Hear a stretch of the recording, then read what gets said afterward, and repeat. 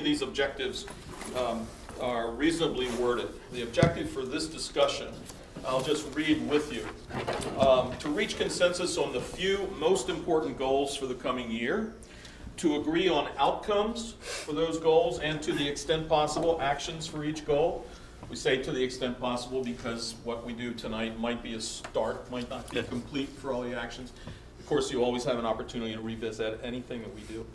And then to identify other initiatives that are important, but might, important to be worked on, but might not meet the, meet the criteria for goals. But nevertheless, we want to be, uh, have those things front of mind, whatever they may be. So those are the things we'd like to address in the next hour, okay? So, we, last time we introduced ground rules, I'm not gonna go over them again, just suffice it to say that they're still in, in, uh, in Play. place. Yes, and, and every, we all share responsibility for making sure that we adhere to them, so if anybody doesn't, um, we're all able to call that out, and especially, silence does not necessarily mean agreement, don't assume, and which that also means that everybody really has responsibility to speak up and say what they're thinking.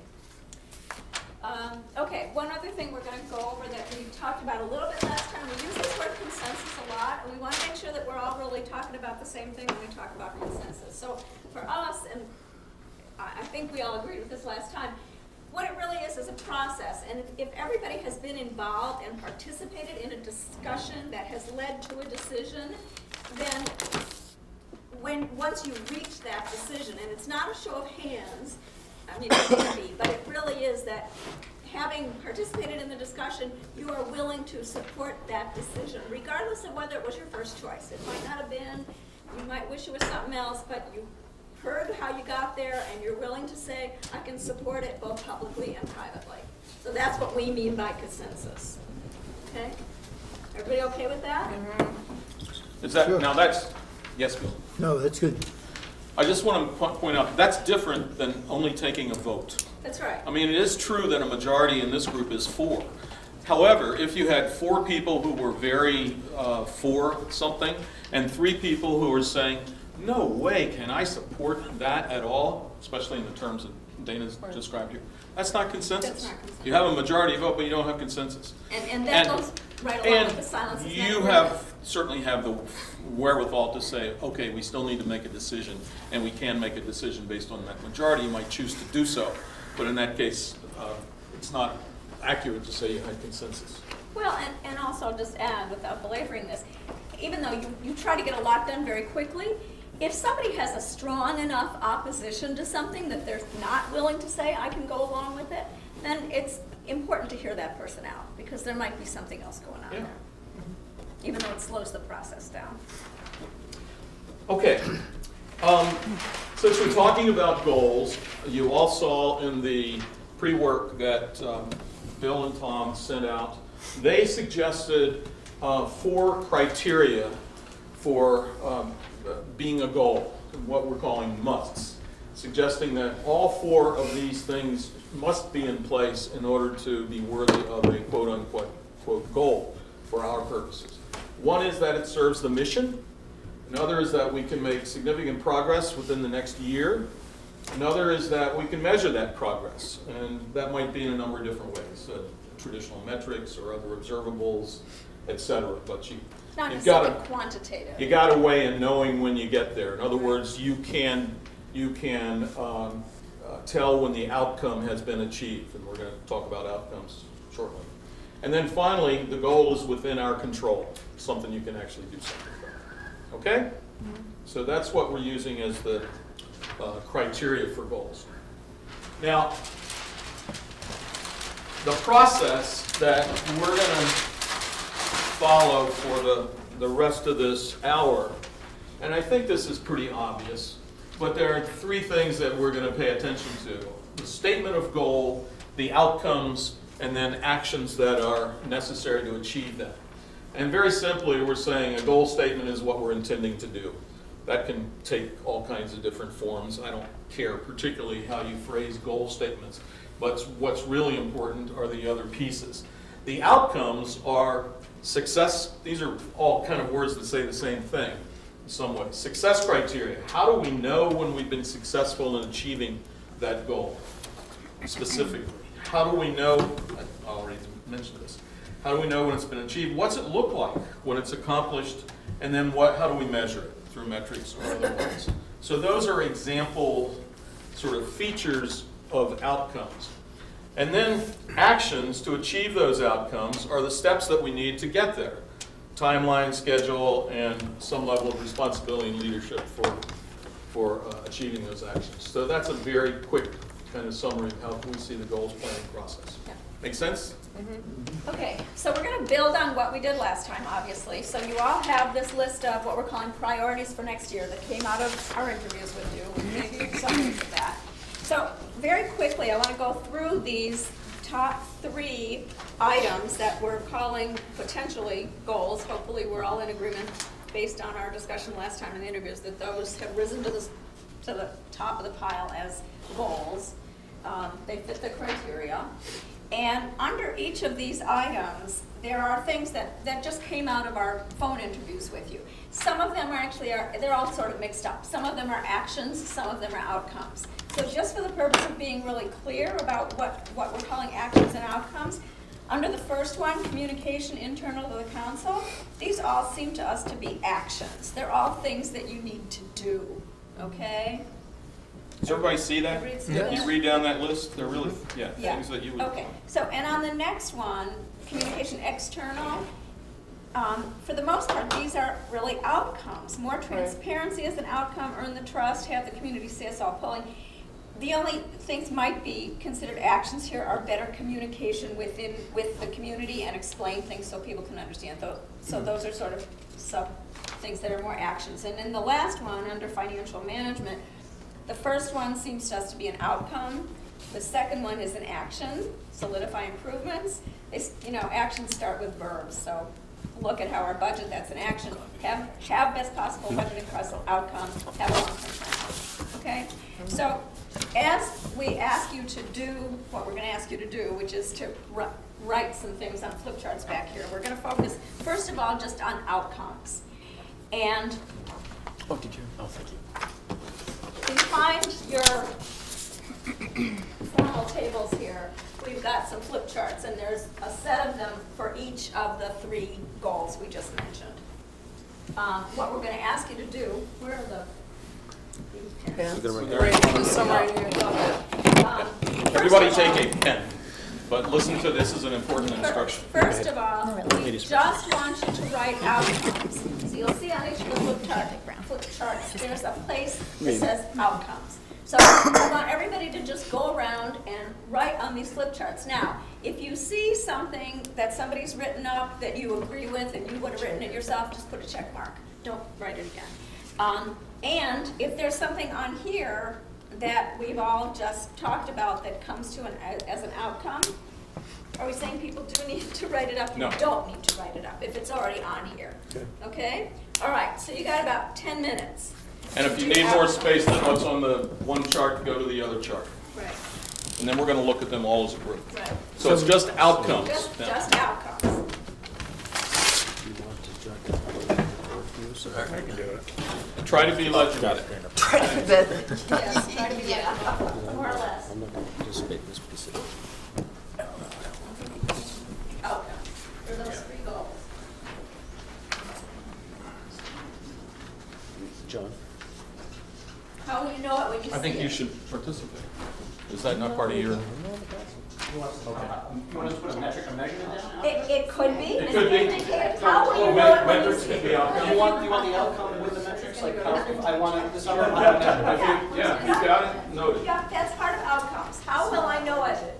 How will I know it when I see it?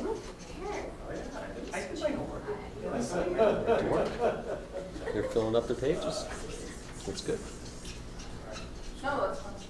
They've clearly given us that. I have something I really want to make sure I write down.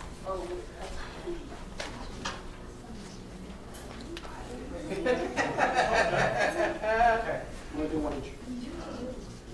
Oh, Jesus. Oh, Outcome. You have some trouble? Yeah, go ahead, go ahead. Will, are you following me? Yeah, It's really, anyway. it's really getting talky. No, I'm going over there.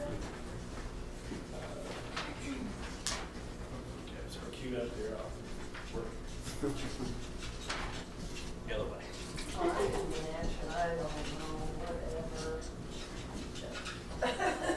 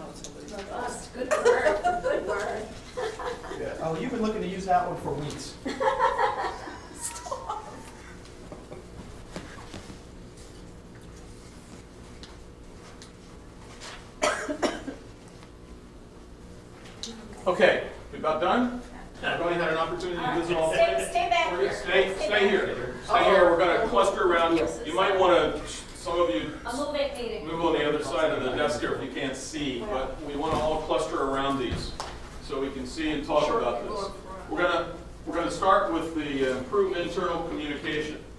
Um, I'm going to read through these and let's see uh, what we're all able to agree to or if there are any that we are not in agreement on or anything to change or, or add. So this is, what would it look like? How would we know if you were successful in improving internal communication? So these are the kinds of things. No surprises. Any disagreement with that? No. Improve trust. That's correct. You know, how, do you, how do you know when you approved? trust? Um, action survey, quarterly check-in, is that what that means? What, what kind of action survey? Well, oh, the action. Actually, it'd be pretty well, the action is a survey. We, are approving our trust. Oh, how will you know?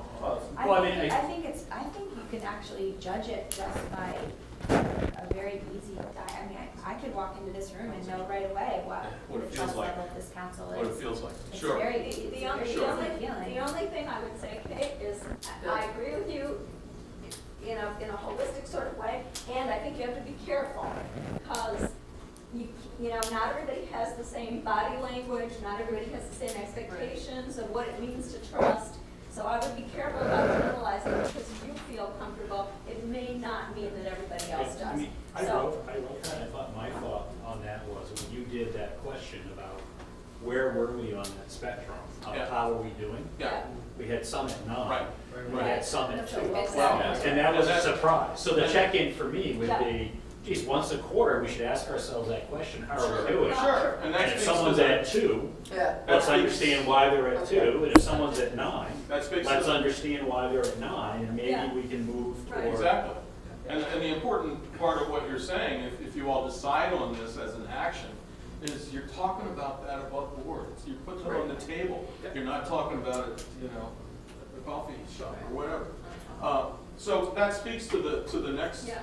One. The subjective survey has tighter band, a hmm. tighter band for success. And I think what That- you're referring exactly- to That's- is that's like the phone interview Yeah. thing, exactly what Peter was Yeah. just describing. So, so when you get around to translating that into actions, to make that happen, it means somebody has to really take it upon themselves to, to, to do that thing, probably you, but not necessarily, that there is a quarterly check-in, and it may mm-hmm. just be that at the end of a meeting, you ask people to fill out a, a one piece of paper and hand it in. How, how comfortable, safe do you feel expressing yourself? Hand it in, put it on the. So the next one is more communication between uh, all individual councilors, and that could be an action also, since for them. That could be part of this quarterly check-in. Right. You're mentioning also. More robust discussion around issues That's at the council table, okay? Um, I'm assuming that means more inclusive also, because I think there've been some times when some folks have not always felt a part of the discussion. Right. Should I add and inclusive there? inclusive's a real. Say more robust and inclusive? Okay. More consensus around issues? Self-evaluations of annual goals, process. self meaning the council. Yeah. I actually wrote that and it tied really into that section when I was up there. Yeah. So it's, it's that quarterly Sure. assessment of of Sure. how we're doing so we can have the table discussion Yep. and understand whether or not we continue to trust each other as well as achieve Sure. our goals. And build trust is. Uh, I, I just wanted to point out that the consensus one was mine, and that, that doesn't mean we all vote positively or all vote together. It just Right. means that we, as they, as they were saying before, we have the discussion at civil, and whatever the decision is, regardless of how it turns out, it's, that's what the council decided. We may not have, decided, that's what the council decided. Yeah, Right. good.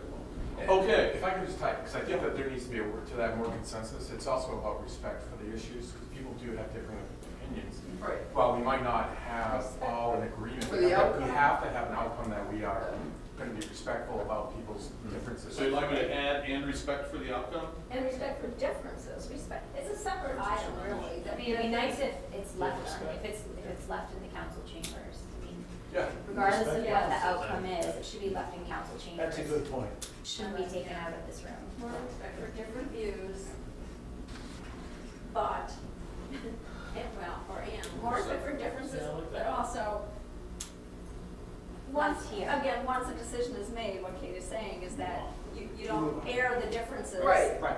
out. It's like we public. made a decision and move on. And, it- and I guess, I- to me, it doesn't mean that you all have to trumpet the decision that was made. Sometimes by not saying, I don't agree with that, I don't like that, is enough to support it. To say, right. that's the decision of the council, That's now we've moved on. exactly You may personally not agree with that, but that's the statement. Right. I- That's what the council made, that's Well, what, that's that's what, what. That's how we define right. consensus. Yeah. Just another We way don't air the differences is- is- publicly. Another way to think of it is just forward thinking. Be ready for the. What's ready next? thing. What's Yeah, next? Backward look. Okay, Don't double check. any, any, any, any other comments before we move on? Are these reasonable outcomes that would be an indicator of whether or not you've improved internal communication? That- Reasonable?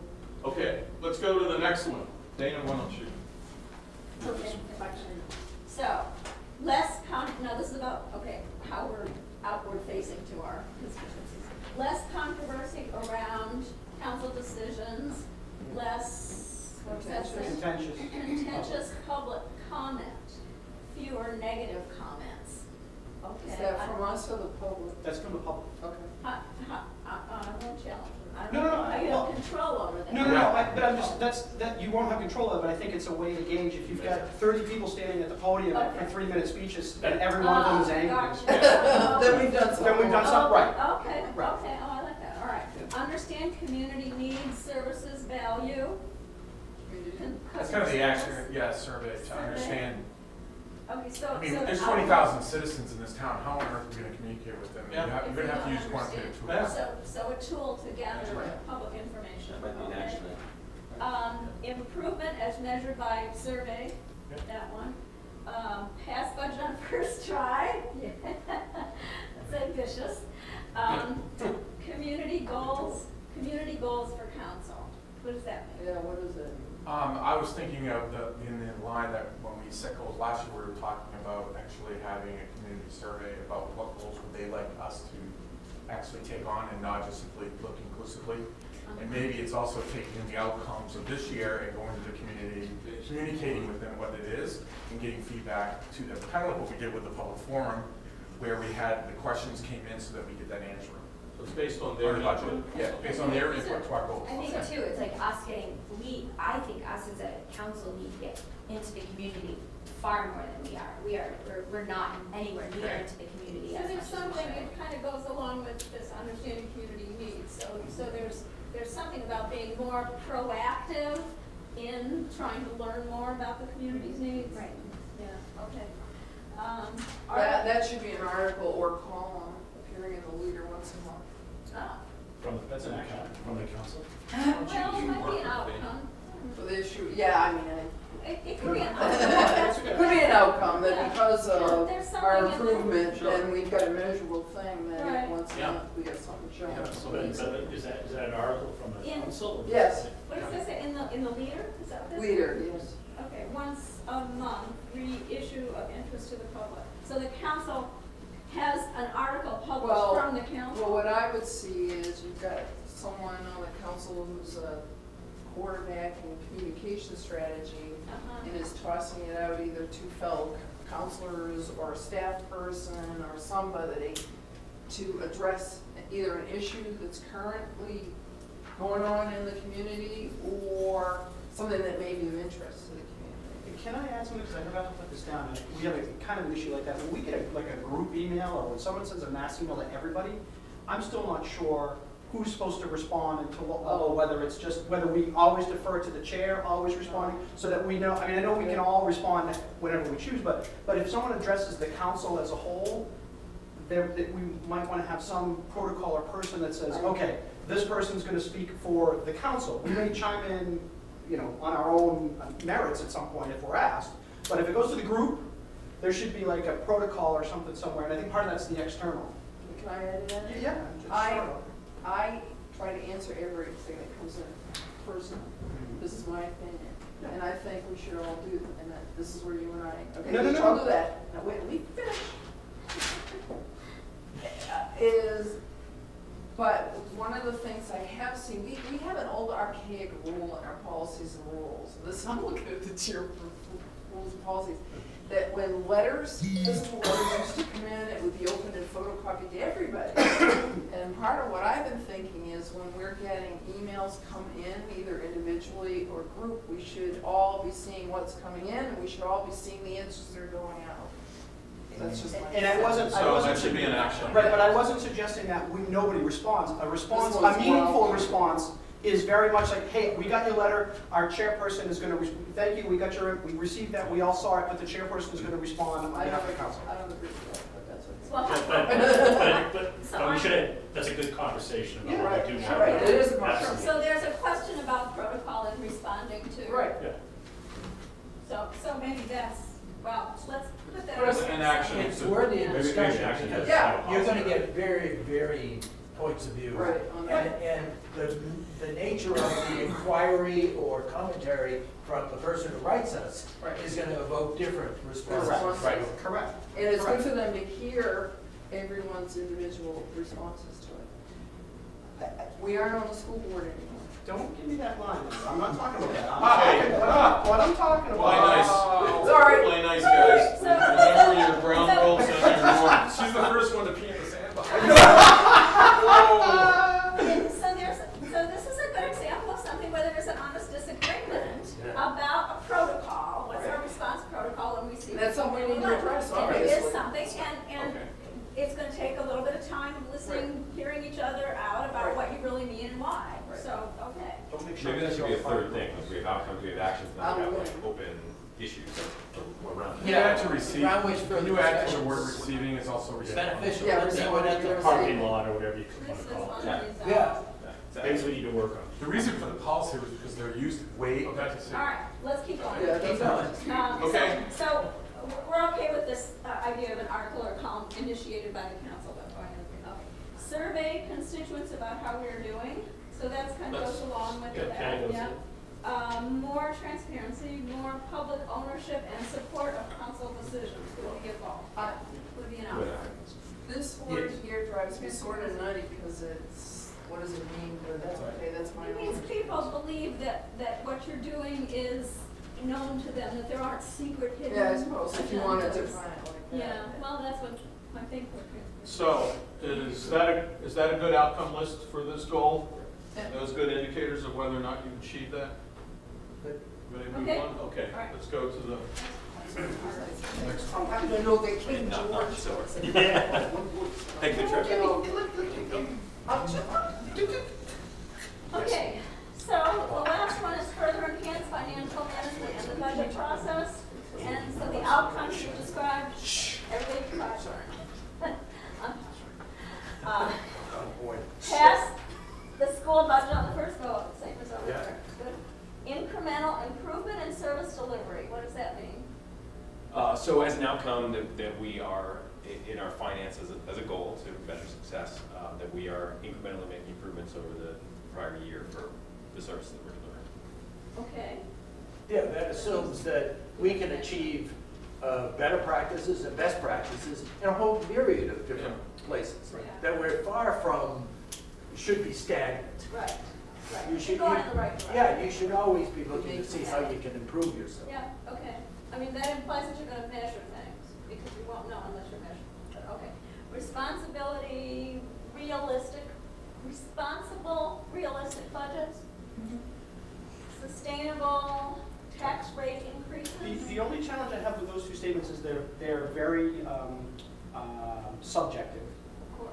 They're incredibly subjective, because what, that, I mean, we may have seven different views of what that really means. yeah. Yeah, you gotta define that. Right, It's, it's measurement, we gotta come up with the metrics. Ex- and Yeah, So an exactly, action, exactly. so an action might be to develop a criteria Yeah, that's for right. making that judgment or. Right, right, and the concept is right, it's just how, Yeah. what, how- what, what metric do we use to measure that? And, uh, Well, then it's, it's agreed on that too. well, Well, brothers, because that's why I thought that the, the data that Tom put together was important.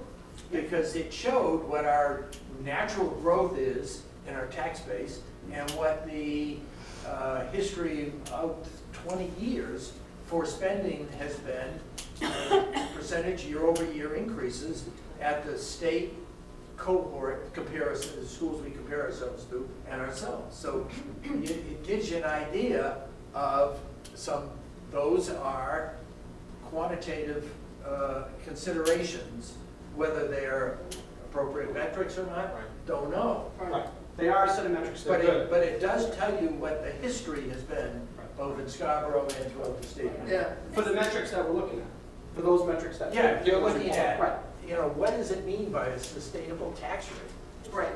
Well, right. Yeah, I mean, you- you gotta say, okay, is, uh, is, uh, uh, year in and year out, keeping it below three percent, a realistic, responsible, sustainable tax rate? Right. And there are others who think it should be whatever the COLA is. Yeah, right, We've had that. exactly. But as a council, I mean, if both of these things are together, and an action is that you're gonna spend some time talking about Yeah. how do we balance those things against Right. each other How and do we measure agree um, on, Okay. yeah, okay, agree on metrics to be measured. Can, can you add one word, because there's two steps to that, you have to, you have to, defi- you have to agree on how to define it, and you have to agree on what the metrics is. That's what you define. Definitely. Yeah. So level services, we have to agree that level services is a metric we want, and then we have to agree on the definition of a Yeah. level service. So you note those There's- are there's. There's nothing up here about There's two level services. Well, so that's what I was. No, I'm just saying that's one element, that's, Uh, Yeah. that's an I was. It is, all right, it is, yeah. All right, review best practices from other communities. Yep. Useful. Uh, That's actually an action. That's an action. Uh, Focus on trends, metrics, dashboards. The, the focus is on, it could be an action also. Um, Eliminate need for school budget to go to vote. So is there anything there that, That's an outcome, yeah should not be on that list? Is that a good description of Peter, achieving? you have a reaction to that elimination? No, just. Oh, oh okay, I What, thought, what is that? What, what does that, that mean, so it doesn't? I put it so up the- there. So the town council approves the school budget? Is that what that is? Yeah, that we, Yeah. that it gets passed by the town, that we no longer need to Go- vote on the go- budget go- separately, because they feel confident enough in what we're doing. Yeah, that they don't- Well, but I, yeah, I think, it'd be one thing if that were, yeah, I, I may, I would take exception to that statement, only because if we take action, it's binding for three years. Right. And the public vote, there's a couple of things that, the perception of the public vote is, A, public input, Right, and get act on it. But it's also a mechanism, um, I think, to, as a check, it kind of operates as a check and balance to some extent. Right, So you and I I- are gonna disagree. No, no, I, I, that's fine, that's fine, Okay. yeah, I- I- yeah, Well, I'm just saying, if that's, you, I- if you say eliminate need for school vote, it doesn't mean you wouldn't necessarily still do it as a, as you say, as a reinforcement. You can choose as a municipality. We vote on that, right, if the community decides that we don't vote on it, then we don't vote on it. That's- Right, that's but you could, but you could say the next year, I think, but I don't. But The the word- word the is three word years. It is three years. changes that. Yeah, yeah, I That think means so. that we've done a good enough job, Right. that the public trusts our judgment, Right. because we're putting all the effort into the finance committee and. Right, exactly. Okay, Quick, one, one quick question. Yeah. Yeah. Is, as goes, one one of the ground rules was, what can we do in a year? Yeah. Is that, could we do that? I Well, hope it's so. incremental, so it's going in the right direction. So we could do this. okay. But to Peter's point though, I think No, it's good to have, Right. short term, but we should develop some long-term strategy as well out of this, as well. Sure. Not just look at what we can do today, but what we think we can accomplish. Okay, you only gave us an hour, so I know, these guys are under extreme pressure. we're gonna move to actions now. Don't sit down. Oh, The same, just, just, just listen, listen up for a second, please. So the same, the same activity, uh, walk around among all three, uh, goals and use either the left-hand column or the spare sheet that you see there and note as specifically as possible actions that you suggest for achieving these outcomes.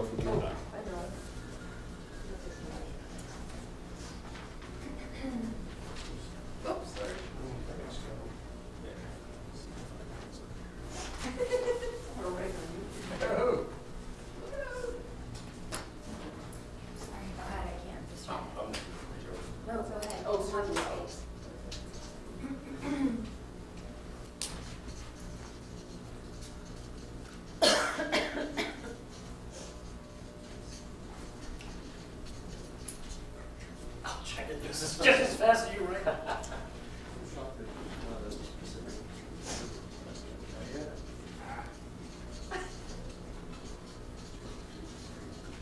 Yeah. What's that say? Or do we check it? Oh, discussion. I see disconnect, they just passed. I think it's interesting with the six focused on communication, and only one of them. Uh, We're gonna type them up. And then Oh, sorry. Yeah, yeah, yeah, exactly, exactly, exactly like that. Tom, we'll type all this stuff up. Oh, great. Uh, Yeah, I think there's some friendly, uh, merging, yeah, there's some commonality among them. Yeah, but I won't try to merge everything just for the sake of merging, because sometimes you lose meaning or something. Yeah, yeah, yeah. I'll. Okay, who needs more time? Uh, Kate, Kate, one, one more time. Has everyone else had an opportunity to visit all three positions? Okay. Number. Will you explain that, please, Don't get me going. I won't, I, I'm stay away from it.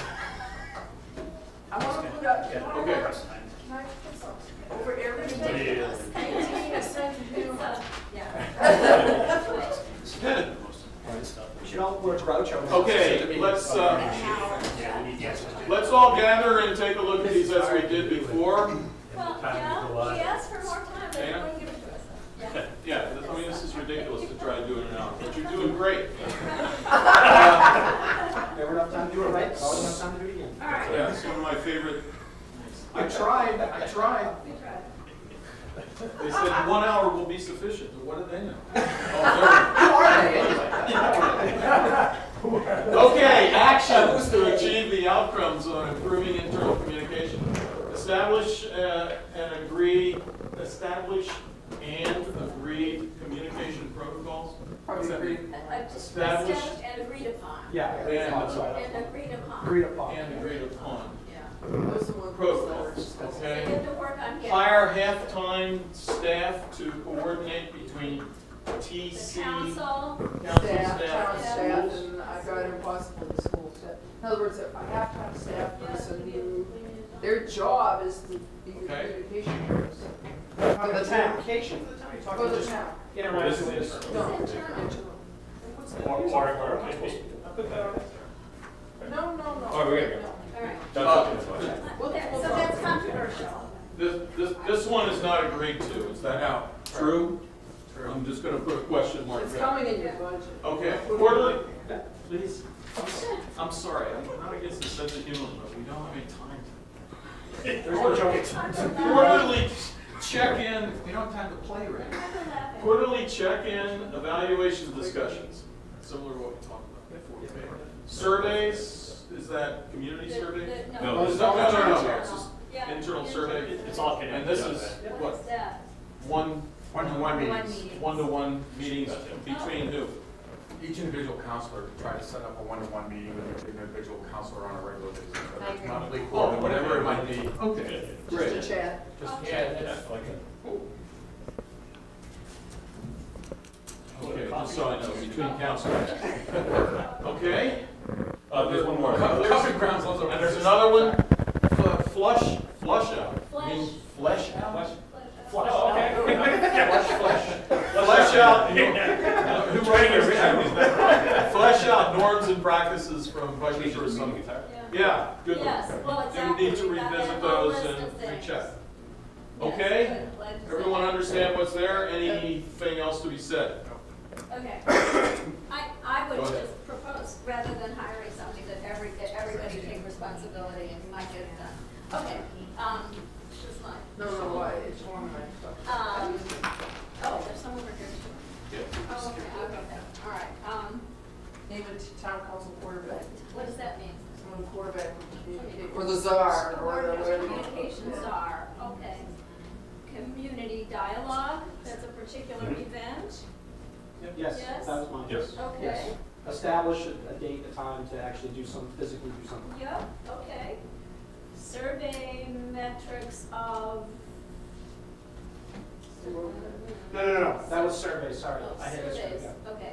What's this, more, more positive, No, more mention of positives in town.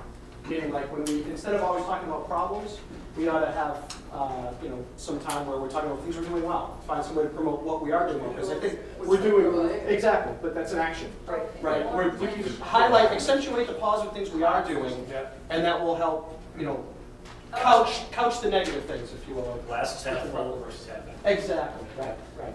okay, got it. Um, okay, This says hire communication professional, That could tie back to the other one. Yeah. I mean, we should have someone that goes somebody across. who does both internal and external. That's, it may be different still. Need someone else hired. Um, all right, when you, I'm curious, this one, does that mean like somebody who can do, um, social media or Yeah, no? or but could it Potentially, facilitate- Potentially. Or both? Facilitator for the, the school, the town to, to be the public face and like, Okay. do give that interaction. Like a. PR person. So, you know, if, if there, if there's media, you know, they do the media Yeah, interactions. okay, okay. Uh, increase opportunities for dialogue with community, i.e. listening sessions. Yeah, I think that was covered, uh, yeah, exactly. Uh, survey community, progress, needs, services, goals. Okay, interactions with the community, more opportunities for council members to be in the community and the schools. Uh, council members at every single business opening, council members at every school. Volunteers. Volunteers, so being more visible out. there. Right, Yeah. should we go back? Okay, Just so it'd be great to have some mechanism to know when, when people are going or not going, because it's hard to know. The Announcements go out, but I never know Yeah. whether seven of us are gonna be there or Put that zero. on that. Yeah, but that, part of that's communication Internal. protocol too, to say, you know, I mean, we need to do something that we, It's a checklist. so. yeah, right, RSP, whatever. whatever, yeah, yeah, yeah. Who's doing what, when, where, that kind of stuff. Okay, all right. I don't know. I'm writing internal communication on, to Peter's point, when someone's going somewhere, so we're all aware. Okay. Okay, actions. Uh, Benchmark surrounding commu, benchmark surrounding communities. Okay, so that's, that's up there somewhere, yeah. That's for Best good practices. This Good is- best practice. yeah. That's Oh, the best right, practice. All Okay. those in place for this. Yep. Somebody give me that. Thank you. So specifically for schools, people have mentioned K through Oh, yeah, yeah, yeah. Presentation process. Right. More Maybe just take a look at it and shared, see. more shared Goals goals with with. the school board. School board. Does everybody know what that is? Yeah. But we may not. Okay. Strive for tax impact to be consistently below three percent. Something said, is this, do we uh, have agreement on that one? That's the quantitative side Right. of the qualitative I got you. ones over here. I- So okay. that says strive to try and be consistently below. Doesn't mean you're going to be, Strive, because yeah. circumstances can Right. drive that uh, uh, to uh, other outcomes. Sure. But But this, your, that if you can keep below three percent year in, year out, uh, and one of the things that I thought the data showed was that that's a very achievable goal. Because of the four to four and a half percent spending annual increases that statewide cohorts us. Uh, One point three percent over the ten-year period, annual increase in assessed values. So it comes out to two, two seven, two eight, Right. and that, I think, is something the community, year in and year out, could live with. I, I, I understand the logic behind it, and I saw the data behind it. My concern with, with something like that is it kind of goes against what we talked about of, of agreeing to what those metrics need to be. Right. So if that's a metric that we're gonna establish to measure against, I agree hundred percent. I'm not convinced though that that's really the The metric. number. that- I, I don't, not the number itself, but Right. that might not be the metric that we want to measure against. Right. You know what I mean? Yeah, I mean, there could be other. Yeah. Uh, This was just one that I think is a bottom line number. Mhm. Uh, because it means we, we have to, in the end, uh, the town isn't really so much concerned about, oh, did a lot of businesses come down, or we had an increase in assessed value? Uh, That's what the Did we lose community money from the school uh, allocation of money? What they want is a dependable, predictable, and sustainable rate. Yeah. And I just think below three percent is what I'm, what I'm, roughly that. what I'm hearing is that there's agreement that there needs to be a metric that you all agree is Yes. the goal to strive Yes. for. But Yes. you're not yet clear, Right. in Yeah. agreement that this is the right one. Yes. Okay? Yeah. So, this- Budget presentation, combined revenues, more accurate projection of Property property value. valuation increase. Oh, so I put that up there, so the. Oh, Please explain that. I was waiting for a pause. So, so when we, when we're presenting to the public, when we kind of do our little fact sheet, and when we, vote- when the public goes to vote on it, rather than just pitting town revenue against school revenue, we kind of have them, these are our expenditures, this is the whole town revenue. Oh, yeah. And then the other thing is that, you know, we kind of are using a very conservative working number for the property valuation increase, and I, I feel like oh. As long as we're, we're presenting to the public as, you know, this is what we think it could be, but it might not be this high, um, that, that it would, it, that drives the tax rate, so that they, don't- they're not voting on a six point nine percent tax increase, what really works out to three percent. You know, the only tax impact that matters is the combined. Correct. Absolutely. Correct. And that's why I think we should always be talking about a combined. Combined one, Because yeah. we are a town, we're in it together. Yeah. And that's the We're messaging. with the other towns in a co-op. Right. Uh, And so I, I agree that uh, combining the revenues, you show what the school increased its spending at this uh, dollars and rate. Town increased its spending at this dollars and rate. But when it comes to tax impact, show it all as one. Because that's what matters to people. Okay, And I guess the, I guess the only place I, similar to your comment, I really like the concept of let's benchmark what other communities do. And if that's what they're doing, makes sense. But I'm, at this point, I'd rather benchmark first and find those communities that are passing the budget in the first round. What do they do with it? I mean, how are they communicating? How are they presenting it? So so whatever, I mean, I I think, I think that, that should, that should be a real critical first step for us. is What do we want to measure? What are our metrics? What are we gonna do? Wherever that comes from, that should be some work we do really soon. All right, so I added that benchmark, you know, to decide that. Okay, last one, continue community budget forum with measurable response and feedback on public input. The- the- So I, so what I want to mention before is the Yeah. arrows on the other side, we said were actions as well, so I want to. So the issue on the trends is around the benchmarks and the metrics and the definitions, and so I would like to just make sure that gets included in the actions. 'Cause it should also Okay. Okay. Is that a good action list for now? Yeah. Yes. As good outcomes? the- Okay, great. Uh, Have a seat. We're gonna, we gotta For go five slow. minutes. Well, less than that, haven't you? Okay, go right into council.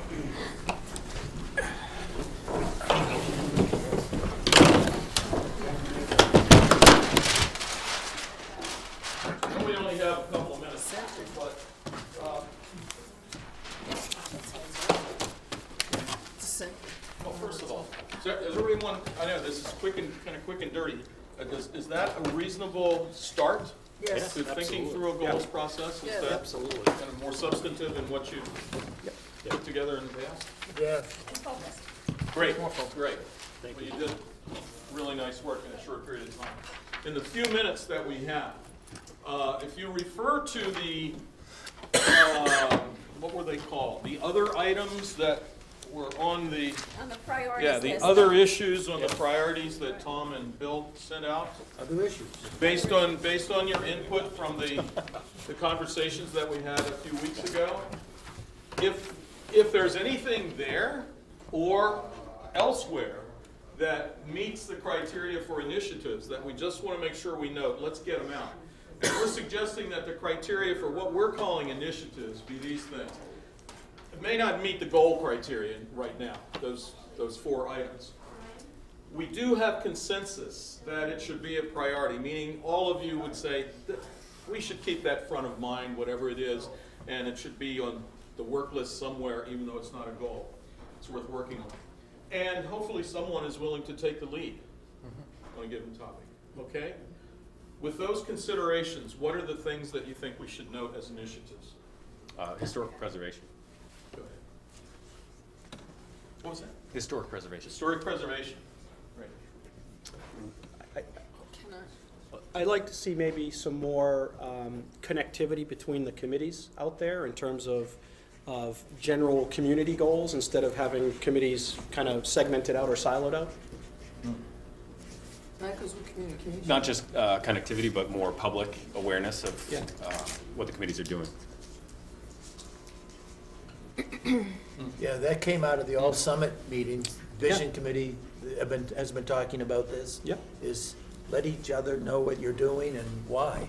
But someone needs to chair, I mean, we've got great talking, someone needs to take the Yeah. lead in initiative to, to run that. report.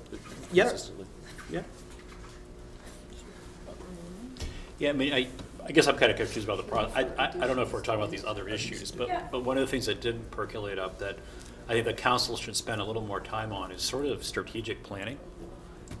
What is gonna happen in the town in the next five to 10 years that we need to be thinking about between infrastructure for schools or public safety, or what's gonna be the demographic changes? Some of the data, Bill, you shared, I mean, student enrollments are going down. What does that mean? So I, I would like a, the, the Yep. council to spend a lot more time on Yep. Looking forward about what's coming and how do we position ourselves to not be surprised. Yeah, I completely agree. A- And, and Tom has been working on the infrastructure side of long-range planning, uh, and the schools have been working on, Yeah. on the same issue. And we were thinking that would be ready for workshop in Probably February. February. So that'll be the So start of that That's a key, that is a, long-range planning, strategic planning is very important for us to be looking at. And we've been talking to Dan Bacon about where he sees his whole planning and zoning side of it fitting into this. Can And we have the comprehensive development stuff that's coming. Can I ask a question regarding all of So, these yes. issues? Because I'm looking at, like, you've got historic preservation, well, we have a historic preservation committee. We've got affordable housing, we have affordable housing committee. Uh, broadband internet, we've got an ad hoc committee working on that now. We have an ordinance committee, so it's con, I mean, so is this separate from, Can I- So I- or? Can I say something? Go ahead. kind of to play off of what, for me, um, you know, some of the other issues, and I, I I know, I know some people are gonna say that this was touched upon over there, but one of my biggest issues is, I think that it could solve so many problems. I think once we get behind this table, we forget, um, when we're out campaigning and we're out in the public and we're meeting with people and we're talking to people, um, it's far different. We, we get elected and, I mean, I can speak for myself. I don't know the last time that I was out in the community talking to people about what the real issues of this town are. And so for me, a bigger other issue is how do we get this council back out in the community acting like we're running for office every day? I mean, I That's a think good point. session bench here. Go ahead and Yeah. note it again, though. That- that's the important. emphasis. I think it's Yeah, that was to up there. I think to wasn't Jean Marie's point, though, I think what I'm viewing this as is this is more like what the, the, the town council is saying is our, our, you know, points of emphasis that we want, not just ourselves to be working on, but, but kind of direct my us toward, toward, Yeah, you know, the, the staff, that, to let them know what we think is important, as well as the, the broader community. I, I, just to piggyback on that a little bit too, I would like to see a similar process in each one of the, I'd like to see this process trickle down to the committee level and start that process with them individually to say, come up with some, some places you guys think you want to be, and then the liaisons bring that feedback, and then we can, you know, because some of the council, uh, some of the committees were saying, you know, use us, what, what, you know, engage us, let us, you know, get us involved and active. We're, we're, we're not gonna have time to to revisit each of these tonight, we're out of time right now. But to some of the points that, that were made, you already have some mechanisms in Right. place that can address some of these. So hopefully in your follow-up conversation, you'll identify what can be addressed and how they might be addressed in, in those committees, and and what items here are really priorities. And then, so I guess, to, to, on the- all of these bullet points, I'd like to see them included, but I guess I don't understand why parking is on that. Like- No, tho- those, that's just a list to keep in mind as we're thinking about this. That was some of the input that, that you folks told us when we were speaking to you on the phone. So they're just, they're examples and they're things that are of interest to certain ones of you. Yeah, because the first four of those, I, I thought those all looked pretty, Yeah, I'd like to see them included. pretty important. I didn't understand quite what, Okay, we need to wrap up. Um, I can tell you what parking is about later if you want. okay, all right. So I Good, want to thank see um, on there, it- there needs to be a wrap-up that kind of creates a baseline of all the work that we've done between these two meetings, so that it becomes the norm going forward, so we're not constantly recreating the process. And we're developing upon what that we've already discussed and made progress on, and then kind of adjusting and changing. So, what- you know, understanding what is our next step needs to be, really, it really needs to be discussed. Well, I think it's also time, right? We need to commit to a council to put the time, Right. whether it's a next quarter or- or in six months or wherever, to check back again and, and do the checkbacks Let's that make were this, talking about. what we've done in these Right. two meetings, part of an ongoing process. Yeah, right. That's what I hear you saying. It becomes the That we norm, make so. conscious decisions Not that I don't about like how you, but we shouldn't have to hire you every year to come in and, right? I love you guys, but, We- sorry. We, Although it we, is helpful to have a third. we live in It is helpful Scarborough. that- I know, I know. We, You know what I mean. You'll have three minutes and you can address the basically- council. That's right. We're working on a formula to slow time down. you Live could do around that. like to see cloning too, that would help. Uh, okay. This feels a little ragged. ways It's a little, it's a little ragged and Regularly see where we're Be quiet, let's It, it, I know it's a, it's a little ragged here, uh, ba- based on time, and I, I think you've really done a lot of good things in a short period of time. Um, be- before we- time. Be, be, before we, uh, you know, uh, transition into your, to your regular meeting, uh, what comments do you have about how you've spent the last hour? Just very quickly. Frantic. I think I'm it's too bad we don't. I'm personally, I'm Really I- I- efficient. Forced us to be efficient. Well, it forced us to stay on track, which is Yeah. something we're not very good at sometimes. I feel like we got a lot of importance and quality. I know you doubted me, but I had some experience behind my recommendation. And I, and That's right, keep people in a short short. time or they go on. I sense it. it's Although I like- do feel like I wish we had more time. It's a good start. Good stuff. We, we, we've got a long way to go to actually carry through with a lot of the good thoughts. You have to spend time. I mean, Right. it's It not is. gonna, it's not gonna happen unless you're willing to Yeah. take Put the in the- time to do I, it. I It's- personally think it's gonna take an outside source like you to change some of the thought processes that have, and I'm not blaming this council, but that have just been passed down and down and down and down, and I think it takes somebody else. You, you, you have a couple sets of tools that you didn't have before, and I know John wants you all to keep that list of, uh, ground Norms. rules in front of you all the time.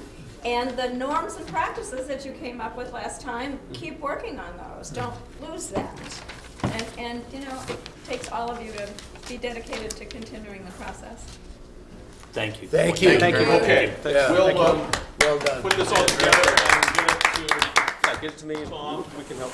May, may we uh, take down this Yes. while you're getting into the meeting? Yeah, well, they'll need ten minutes or so.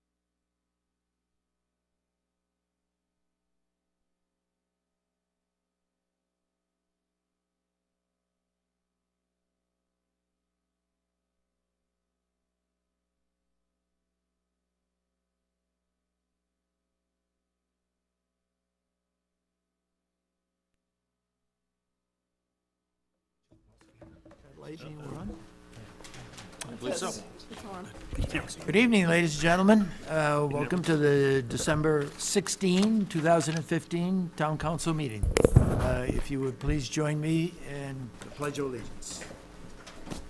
Pledge allegiance to the Pledge of Allegiance.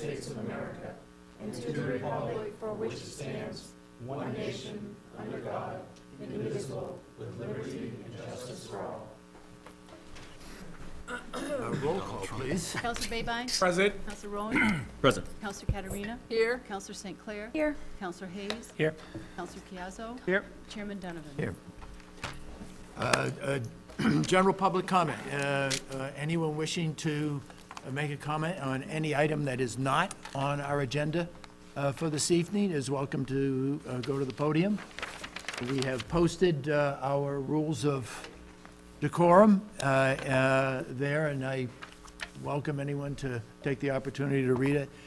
Uh, Politeness, civility are the watchwords that uh, come to mind, uh, uh, no personal attacks. That's the kind of demeanor that we want to have presented by our councilors and by the public who's attending our meeting. And I must say, thank you for coming to the meeting. Uh, uh, It's uh, uh, very important to uh, our democracy that we have people come, see what's going on, and understand our process. So thank you for coming. Uh, uh, Seeing no one uh, for public comment, I will close it. Uh, Minutes of December 2, 2015. Uh, Do I have a motion? So moved. Second? Uh, Comments, corrections from anyone? Seeing none, all in favor? Opposed? Unanimous. Adjustments to the agenda, there are none. Uh, Items to be signed, uh, the treasurer's warrants, I will sign those later. Takes us to order number 15-97, 7 PM public hearing and act to determine whether the residential structure located on land owned by Douglas S. Brown at 9 Partridge Lane, Scarborough, Maine, and identified as map U008, lot 087 of the current Scarborough tax map, is dangerous or a nuisance within the meaning of Title 17 MRSA, Section 2851, and order any appropriate corrective action. Uh, I will look to uh, the town manager to begin the introduction of this matter. Yes, this matter's been scheduled, uh, and uh, notice has been published for public hearing, first and foremost, uh, at which time I encourage you to hear from Brian Longstaff, member of my staff. He's the zoning administrator and the one who's been spearheading this uh, enforcement action for the better part of a year. Um, Brian is distributing materials this evening. Uh, We do have uh, the town attorney, Phil Saucier, in attendance as well to make certain that, should there be questions of the council uh, regarding this uh, proceeding. And it is, uh, though scheduled as a public hearing, it really is a quasi-judicial proceeding. And so uh, certainly the rights of all folks involved in the matter need to be respected, due process respected as part of that, of course. And uh, we intend to certainly do that. Um, I've encouraged in- uh, the chair to seek advice from legal counsel to make sure that we follow all the correct steps. So with that quick introduction, um, I certainly would like uh, for you to hear from Brian Longstaff and uh, to provide some uh, commentary and I guess some evidence for your consideration later on. The, uh, before Brian begins, uh, uh, just want to indicate that this is a hearing. We will be taking essentially evidence.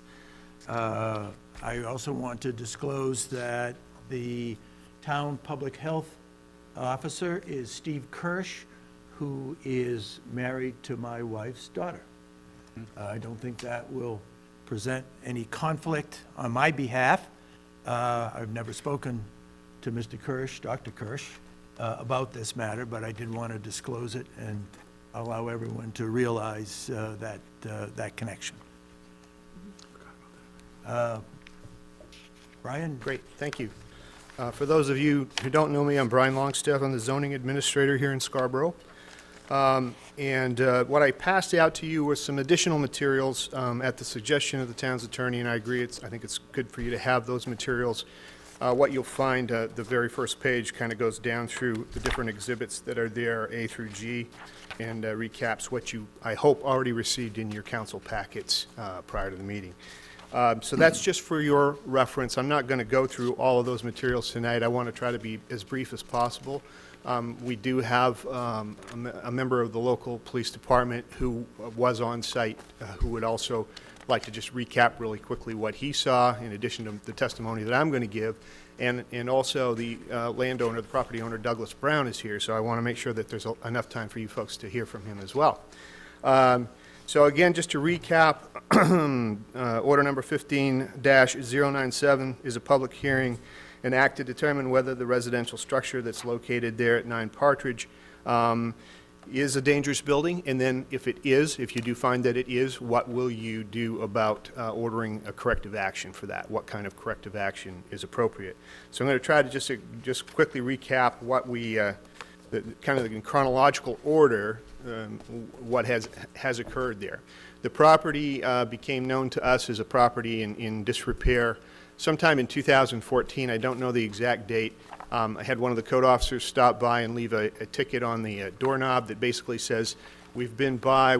There, there may be issues with your property. Please give us a call." Um, we didn't hear anything. Uh, we tried that a few times, and then finally in March of 2015, I wrote the first notice of violation um, to uh, Mr. Douglas Brown. Um, we were pretty sure he wasn't living at the residence, but we didn't have a current address. We had a work address for Mr. Brown. He is employed by LL Bean, so we tried to reach him through LL Bean, and um, and the letters uh, that we sent certified were um, received, and um, so we assumed that he was getting letters. I didn't get a, a phone call from him, I didn't get any response from him after three notices.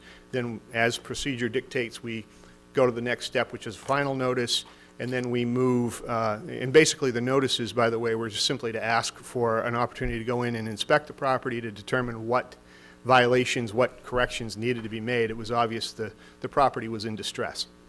Um, So after the final step of the final notice, we went to uh, the district court with um, an application for administrative warrant uh, to inspect the property.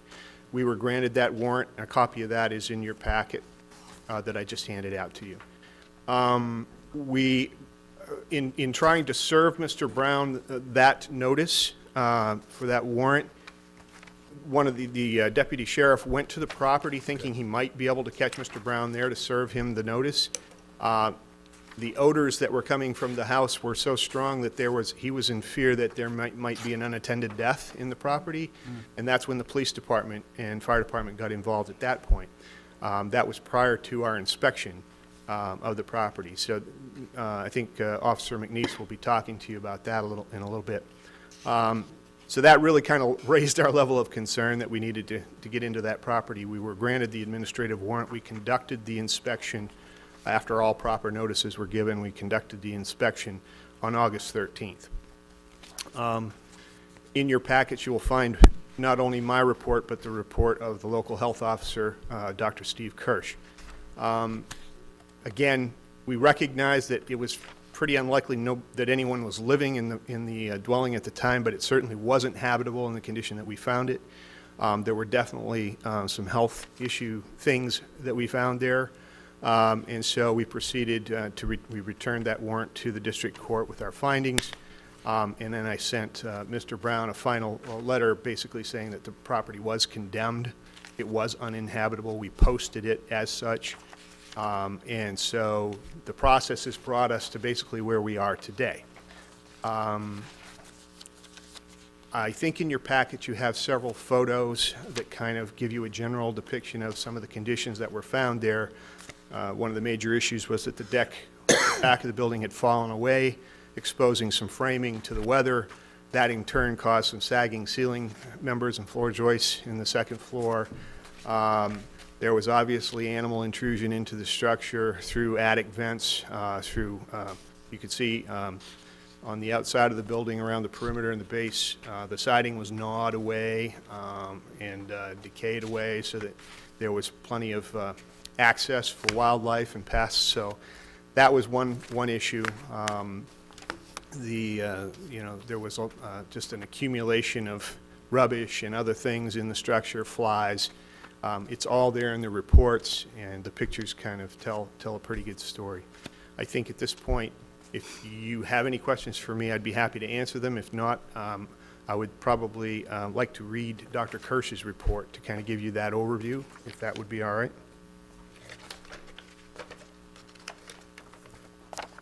So Dr. Kirsch, who, who uh, we were hoping would be able to be here, he couldn't be here because of uh, other commitments, um, basically says, uh, "The inspection of the premises was performed August 13th by, by local officer, local health officer Stephen Kirsch. Other individuals present were Chris Krebs, Animal Control, Brian Dobson, Code Enforcement, James Butler, Fire Department, and Brian Longstaff. Conclusion was, based on inspection of said premises, occupancy of these premises is not permitted until con- conditions dangerous or detrimental to life or health are corrected. Specifically, removal of filth, human, uh, removal of human waste, removal of decomposing trash, rodents, and other animal excrement, secure living space from wild animals such as raccoons. Uh, Posting of premises was performed on August 13, 2015. Written notice will, will uh, need to be provided to owner Douglas Brown and to district court per court order. Uh, The health issues found, again, filth, the internal environment has two floors. Uh, The attached garage was cluttered with belongings and trash, uh, as were the two floors. For example, the kitchen was filled with stacks of pizza boxes, bottles, and belongings. The room between the kitchen and the garage was layered in what appeared to be rodent rodent excrement. Um, There was an odor of decomposing trash, rodents in both uh, the kitchen and the room between the kitchen and the garage. Refrigerators in the kitchen and room between the garage were not open due to the volume volume of trash piled against the doors. Um, There was evidence of um, open five-gallon container filled with clear yellow liquid consistent with urine. Um, Animal infestation, there were photographic evidence of raccoons living in the attic during the winter. Um, So the recommendations were, um, currently, conditions in this property warrants the removal of filth and human waste based on statute Title 22 MRSA 1561 and Title 22, Chapter 153. Property was posted with findings at the time of inspection. Appropriate abatement of filth and human waste will be required to put, to, uh, to be put in proper conditions as to cleanliness. Um, Owner will need to be notified, district court will need to be notified, appropriate measures will be required to secure living space from potential animals due to exposure uh, to animals pose, uh, due to the exposure to animals poses potential risk to transmit rabies. Um, And then repeat uh, inspection as per district court order and completion of above ordered abatement. And that was signed Dr. Stephen Kirsch. Um, Does anyone have any questions for me at this time? What was your assessment about uh, it constituting a fire hazard? Yeah, the, the accumulations of rubbish and trash are obviously a, a fire hazard. Um, uh, The house was energized at the time that we were in it. Um, we did contact Central Maine Power and have them de-energize the house. Um, I think Mr. Brown had been there to, um, to uh, get rid of the uh, uh, spoiled meat that was causing the odor that the, the police department found, and I think he had the, uh, had the fan running and had, had the, fan- the exhaust fan running in the uh, kitchen for some time. Uh, Other than that, there was really no reason to have the house energized, and we were really afraid of potential fire hazard there, so we had the power disconnected at that time. Thank you. Questions from other council members? Just, just so I'm clear, Mr. Longstaff, your, your, your outcome or the goal you're, you're looking for is demolition of the property, is that correct? I- If the property could be rehabbed, that would be our first option, but in my assessment, I think rehabbing the property would be difficult, very difficult. I'm Not going to say it's impossible. Um, There becomes a point where, is it feasible or not? And that's the question that I have in my mind. Anything can be fixed, but at some point, it doesn't become feasible to do so. Um, But I think uh, I would like to defer to, uh, you know, Mr. Brown and let him speak before you all come to your conclusions, because I think it's only fair to hear what he has to say. I don't know what his plans for the structure are. In my assessment, I think the only way to, to deal with it is, is demolition. However, I'm not the owner of the structure, and I respectfully want to make sure that uh, you all hear from the owner of the structure. Thank you. Okay? Councilor St. Clair? Um, just to ask the question, but did we have the right to turn the, the power off? I mean, I Under mean, the I- dangerous building statute, we We do, do, yes. okay, yes. because just my thought is if he is going to try to rehab this facility, this house, it would be, that's a whole nother level of difficulty We, no we can get the to it. power turned back on after we've, As long as, once you go out and deem it yes, safe to have it turned back Yeah. on. But we do have that right to turn the power off. yes. Okay, I- thank you. i- i- If there's, if we feel there's an imminent danger there, Mhm. we have the right to do so. Okay, thanks. Other questions? Thank you. Uh, I believe you said there was an officer? Yes, uh, Officer Brian McNeese is here. Um, He, he can briefly go through what he found on their first um, entry into the house, and, uh, and then I- if there's no one else, then I believe Mr. Brown would, would be, uh, That'll be the order of Okay. proceeding. thank you. Thank you. Officer?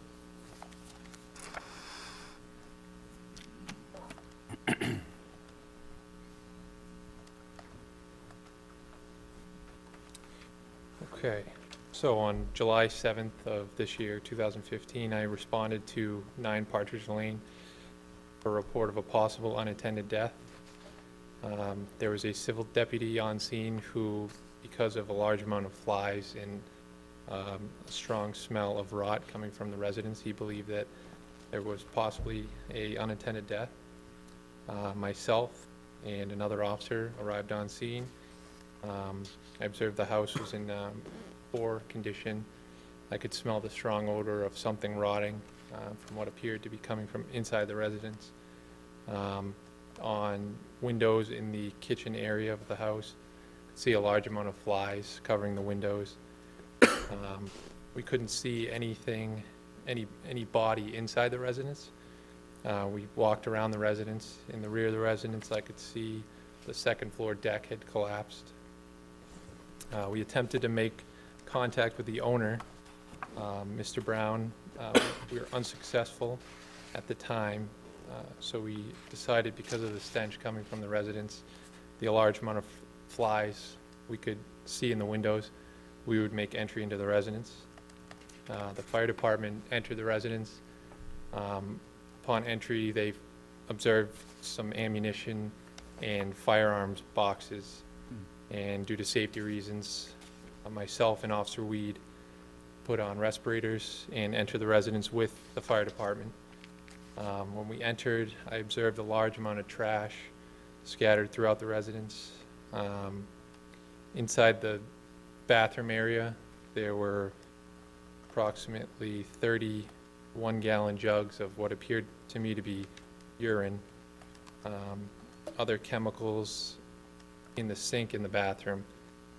Um, The source of the flies we found to be a stand-up freezer refrigerator with the door propped open with a large amount of meat inside that the flies were, were eating, and that was found to be the source of the flies and not uh, what we thought to be an unattended death.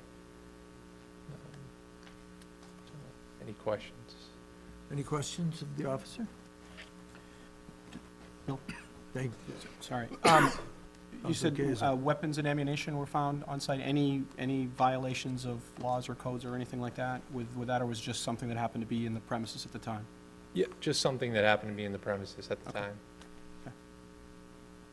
Others? No? Thank you, officer. You're welcome. Thank you. Uh, Mr. Brown? uh, Would you uh, like to address the town council? I would, please ask your indulgence. I've made some bad choices in the last 18 months. My job is consumptive, and that house has been my warehouse. Uh, The reason the officer couldn't get me was I was on an extended business trip in Asia. I didn't get back until, when I did get back, I called them. Uh, That's when I came and cleaned up. I would like the opportunity to make the place right. Uh, As I said, I've sacrificed a lot on my job in the last 18 months, certainly in the last six months since I've been home. Uh, As I said, I'm not here to make excuses. I know the property is inexcusable. As I said, I'd like the opportunity to make it right.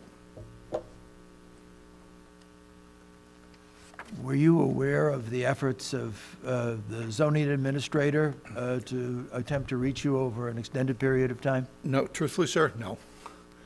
I'm just, I- as I said, I have, s- I have a job that lets me work 24 hours a day and give me more work. And I have sacrificed almost everything on that altar. And I recognize that that's an exceptionally poor choice to have made. Uh, Do you uh, contest the uh, uh, evidence that was presented that this is a dangerous condition under the statute? Not in the slightest. Questions of other town council members? Councilor Caterina? Uh, yeah, Mr. Brown, um, do you live in that house, or had you been living in it? I'm in and out of there? No. Am I there, living there? No. So you have another place where you, where you live? I've been staying in Freeport for the last period of time, yes. So you mentioned that you kind of use this as, you, you called it a warehouse? It's a pla, I have a lo- things I've accumulated over the course of my period on this time. Yeah. Most of which are things that I would like to pass on to my children someday, furniture, those kinds of things. I need a place to keep them. I bought that house when I got divorced eighteen years ago, Okay. something like that. I raised my children there. They're up and gone. Uh, As I said, if I can offer you one ameliorating thing, is is that for the last, well, my daughter graduates, since about 2012, my job, my work has been my life, and I've sacrificed everything to that. How often are, uh, up until this last eighteen months, how often have you been at that property? Uh, Off and on. Uh, How many times a week, let's just say? uh, Prior to the last 18 months, Yeah, maybe four or five nights a week. and then after that, in this eighteen-month period, you haven't been there at all, or? I have been, the last time I was there, I've been there once, since I got back from Asia in mid-July. Okay. That's my only question. Other, And at that point, you didn't see the notices on the property? It was the middle of the night. I was, yeah, as I said, badly jet lagged, overtired, and s- already had people on my leash looking for my time. I don't want to self-aggrandize or anything like this, but I'm LL Bean's anti-hacker. The job is consumptive, and they're more than willing to make me do it. That's not the right way to say that. Councilor St. Clair? Um, I just want to make sure I'm clear. You're, you want a chance to make this situation better. Your, your plan is to bring the house up to code, clean it out, fix it. Is that correct? Yes, ma'am, I'd certainly like the opportunity. Do you have a time frame? I would be willing to negotiate that with town planning board or whatever. I would commit to a hard deadline, but at some point here, we're gonna get a winter. That's very true. Um, so I don't, I mean, clean up inside definitely can be done seasonally. The back deck, the physical repairs, that's gonna have to wait, I think, until spring. Uh, my concern is just that you're stated that your job is, um, pretty stressful and very intense, and I'm concerned that you wouldn't have the time. Um, and let me just explain to you where I'm coming from. I, I'm, all- I'm all about second chances. I, it's a big thing for me. My concern is that, you know, what happens if a small child or a teenager or somebody walks through that house or something happens and you're in Asia and we let this go and nothing gets done and they fall through the floor. I'm gonna feel responsible. I'm just being honest with you because I let this go. Um, so for me to be even to consider it, I would, I would need some like, a real plan from you. Like, this is going to, this is when this is going to happen, and my job's going to allow me to do that. How? Do you, do you understand what I'm I- I saying? know- I understand mean, what you're 'cause saying. The first part of your, you're telling us you're very busy, and I totally understand that. So I just don't know how you would have the time or the capability to, to do, it's a, it's a, from what I'm seeing, an incredible undertaking. Understood. I, I, I understand what you're saying, ma'am. Um, There's a new sheriff in town. I have a new management team Okay. that is swearing up and down that the crazy hours are going to stop. Uh, I have no choice but to believe them. Mhm. Uh, I want to believe them. Mhm. Uh, I've got a new delivery manager, I've got a new reporting manager. Mhm. Uh, I have, and I genuinely want to make this right, and if I may, my best friend at work keeled over last year with what required a double bypass to fix. Mhm. Uh, Very One of my coworkers worked 41 days straight, 20-hour days, and said enough is enough. Yeah. I went to work for Maine Med. Although one of my guys, one of my teammates chucked the whole thing and went to the bootmaker apprentice program, just because he couldn't take the stress. That's kind of a wake-up call for me. As I said, I'm here to tell you, I've made some really poor choices on a personal level here. I'm a good, I'm a very good engineer. I'm not a very good homeowner. I'd like the chance to correct that. Well, I will say, I, it's, it's commendable to me to, um, anybody that admits a mistake and stands in front of a group of people and, and can, I mean, this is a, this is a tough report. Um, I'm sure it was tough, you know what it looks like there, you know what's going on, but I'm sure it's also tough to read it in black and white.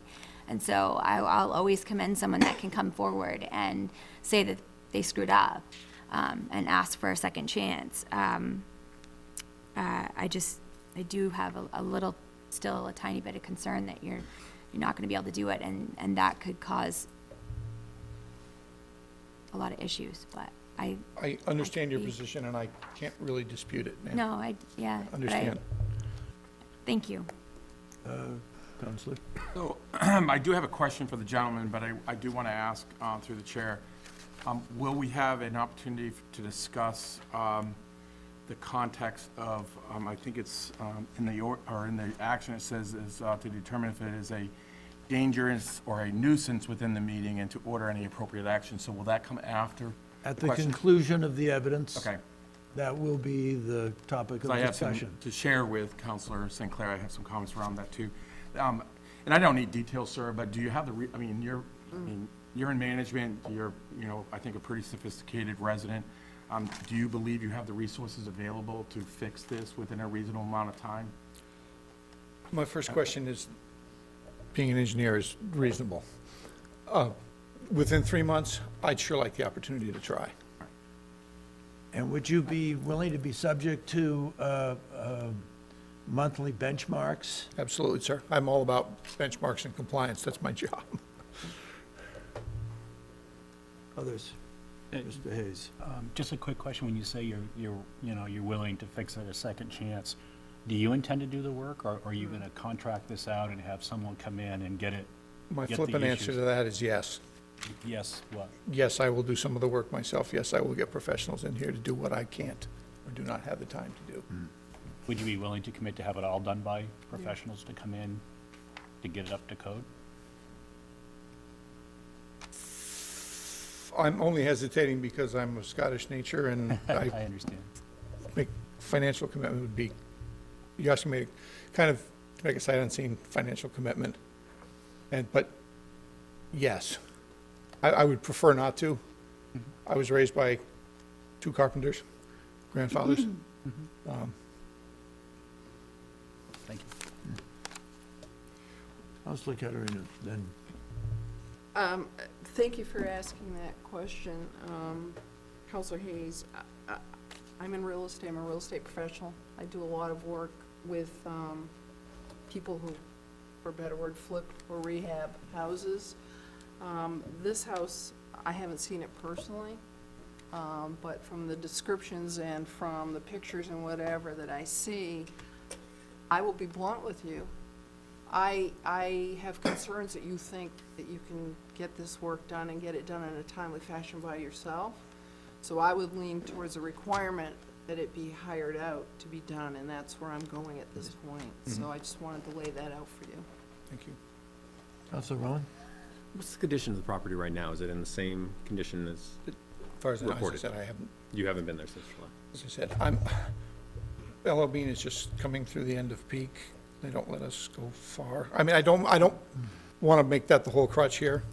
It's my choice to work the way I do, but, or I have. Um, so no, I haven't.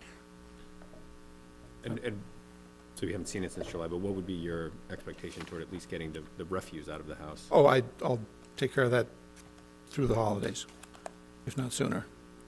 As I said, I, Unfortunately, I go on call next week. That's the one where I can't make like that, but which is once every five weeks. Um, One week every five weeks. But certainly refuge, refuse, and other materials, yes. First order of business. Any other questions? Yes. So, Mr. Brown, my, my understanding is that um, letters were sent to your business in Freeport. Um, You were on assignment for them over in Asia. There was no communication between them and you while you were out in the field on their behalf, that they had received letters on your behalf? No, It goes in a mailbox. Okay. Other questions? Yes. Well, so, so, and I don't know how this is, um, I don't have any questions for the gentleman. I do appreciate your honesty. I do have questions, I guess, I'll- let going me rec- backwards. Let me rec, let me recognize you after we complete. that's- Any other questions for Mr. Brown? Thank you, Mr. Brown. Thank you. Yes, Councilor. Well, I have a question for staff, because I'm not an expert in this by any means.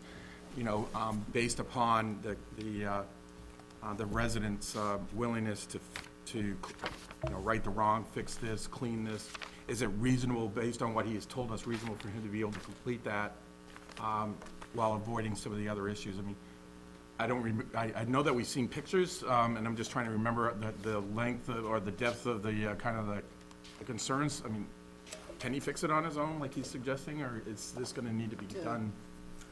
Whatever's next. You know what I mean? I- I thought- In my opinion, it's a tremendous undertaking. Um, I I would, um, as I said before, you can do anything if you have enough time and money to throw at it. At some point, it becomes a question of, is it worth it first? Is it feasible to do it? Is there going to be a return for it? I think realistically, I'm just guessing ballparking sev- uh, fifty to seventy-five thousand dollars if you're going to spend a nickel just to get it back into a habitable condition. Um, you could probably tear it down, demolish it, and haul it away for 15, 15 to 20. You know, so, I mean, it's, Yeah, I- so. it's hard for me to answer that question. If it were Yeah. me, I would not, I would not attempt, I, I would tear it down. And the reason why I'm asking, I can clean anything, but I can't um, pound a straight nail. And I don't know if any, you know, so I'm trying to, you know, what, to determine what is reasonable that he might be able to do on his own, and I I have no knowledge of Mr. Brown's Yeah, abilities. That's, so I so don't- it's very difficult for me to comment on that. If someone was, certainly uh, had the inclination and the experience um, in construction, I, I have no doubt that you could repair the building, but it's, it's a complete rehab. It's not just one area of the house. The roof needs replacing, the siding needs replacing, the interior needs to be completely gutted. I don't know the condition of the wiring or the plumbing per se. Um, there's no water, there was no water in the structure, you know, no, no running water in the structure, so I, I think all the fixtures would have to be replaced. Don't know if they're frozen, you know, I, I, there's just no way to tell the extent. Uh, But my observation was, i it's a total loss. If it's your property. There's an emotional attachment, just like the old car that's rusted out and you want to continue to preserve it. So it's hard for me to, to speak from a you know, from a technical standpoint. It's a complete loss. It needs to be torn down. If there's an emotional attachment and you have the willingness and the wherewithal to do it, then, then yes, it can be repaired. Can it be repaired in three months? Absolutely not. Absolutely not. Um, That, that would not be a realistic time frame. and if that was the time frame that the council was to set for Mr. Brown, he, he, you're setting him up to fail. Uh, it, I, I can't get a phone call from the man in six months, and, and so I have a real, I have a real hard time believing anything can be done in three months, you know, anything of that magnitude can be done in three months. So I think if, if it's the council's, as you discuss this and deliberate, if it's your, your wish to give him an opportunity to repair the structure, I think we have to be very realistic about the time frame and weigh that against what is the danger of extending that out too long. I, I do like the idea of some benchmarks or milestones that have to be met along the way so that there's some accountability. And as I talked to Mr. Brown in the hallway before the meeting, that was my biggest concern, accountability. It's one thing to say you will. How, how are we, what's, what's the stick that's going to make you do it? Uh, Because I, I I hear, I, I sympathize with people, I'm a sympathetic person, but I hear the, I hear stories all day long. And at the end of the day, this has to be resolved. I've been dealing with it for 18 months. I don't want to continue, I don't want to be back here in front of you guys next year at this time, still talking about this issue. It needs to be resolved. Thank you. Yes, Councilor Caiazzo. So, Mr. Longstaff, is, I just want to be clear too, um, my concern would be if we allowed uh, him to go back and repair that, what level would be acceptable before it would not be condemned? Because obviously, if he can't get everything done in three months, you know, uh, as long as it's structurally sound, or as long as there's a roof on it, and then buy more time, or um, would your concern be basically full compliance with all codes finished before any kind of habitability is, is a little bit objective, um, but first and foremost, it has to be weather-tight and secure. It has to be completely cleaned out. All rubbish, all human waste, all household waste, all hazardous waste must be remo- removed from the structure.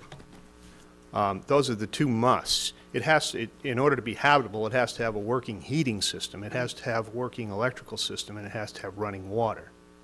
And, you know, and if it has those things, I don't care if the floor's a little, you know, if the, the finishes are crumbly or paint's peeling, but mold needs to be addressed, I think, from a health perspective, um, at the very least, and, and it has to be clean. So, secure, clean, working systems functioning, and, uh, and then some expectation that the yard will be upkept uh, and not allow the grass to grow three feet high, and, which is a harborage for rodents and, and other things, so. So just to follow, if I could, please. Yes, and Um, Councilor St. Clair. um, So, I don't know if you'd be willing to, to, to venture a, a- an estimate with, a if a professional contractor came in, let's say with a crew of five people, what kind of time frame would you expect something like that to take? If you had a crew of five people, I think, and, you know, and the, uh, you know, they were committed to the job and weren't, weren't doing it piecemeal and, you know, in their spare time kind of thing, if they really wanted to bang it out, I think probably, uh, with a crew of five, you could probably make great headway in a month, six weeks. Um, But that's, you know, that's a crew. Uh, If you're talking about one person who wants to do it in his spare time and he's already working 24 hours a day, that's a concern. I- I'm, I'm concerned for him, uh, and I'm concerned that it'll never get done. Thank you. Councilor St. Clair. Um, uh, curious, are you, because we've, we've sort of all mentioned, you know, the standard, you know, he needs to reach certain things. Are you willing to sit down with him and kind of map out for us also as a council and for him what benchmarks he would need to hit? Because Absolutely. clearly that's not my expertise. I'm not, I'm not gonna sit here on the council and say he needs to hit these parameters, because I don't know. Um, but are you willing at this point, I mean, like you said, when you said, I've been working on this for 18 months, I mean, there was definitely frustration in your voice, and I can completely understand that, but are you willing to maybe go a little further with this and possibly sit down with him and help him? These are where you need to be, and if you don't hit him, then, then, not to sound, but then we're gonna hit him. So, Yeah, I think, I think that's the only way to approach this. I think there has to be a good, solid plan that's agreed to by all parties. I think there has to be some milestones or benchmarks in place, and then there has to be some penalties imposed, or, or, you know, Correct. the stick, if, if those aren't met. yeah, and that was uh, kind of my question, are you willing to, to just still continue with this process and help maybe negotiate those, Oh, yeah, those, that's my job. yeah? Yep. Well, I, I guess I'm asking just because I know I could, he- I could hear the frustration in your voice when you mentioned the 18 months. That's just my personality.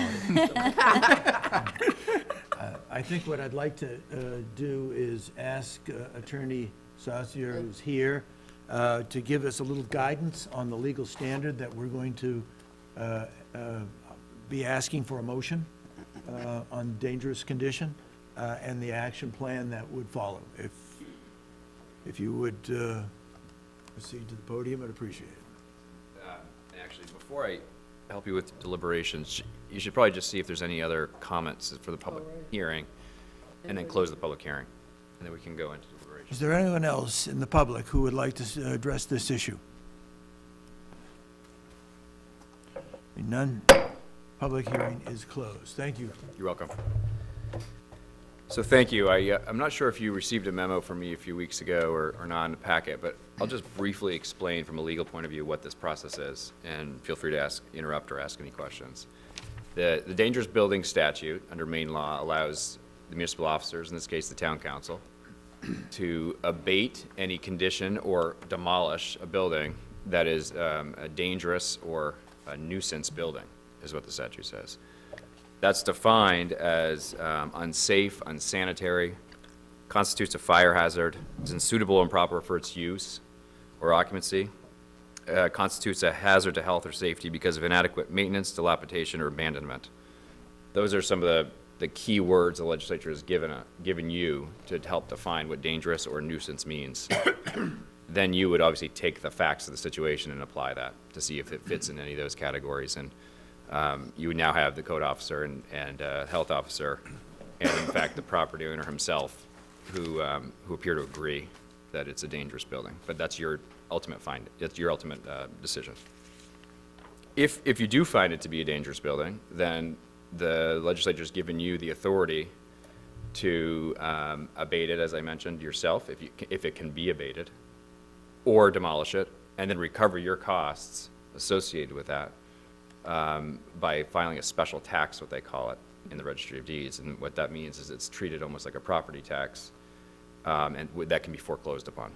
So that's the, it's not a punitive statute. It's not a statute that allows you to give, uh, you know, fines, for example, like violating the zoning ordinance or something like that. It's really a health and, and safety statute um, that allows you to uh, deal with these kind of situations in your community um, when they get to this level. So that's the process. Um, So what you would be asked to do now that we're in the, this, this part of the hearing is to deliberate on what you just heard, make some findings. And then if so, and if you do agree that it's a dangerous building, make a finding that it's, I'm sorry, a motion that you find it dangerous under the statute. And then secondarily, what the remedy would be, whether you want it to be abated or, or, or uh, demolished. You do have the option, as been debated before, to give the property owner additional time, and in fact, that's frequently uh, what a lot of town councils do, sometimes really short periods of time, 30 days to do it whatever we're going in.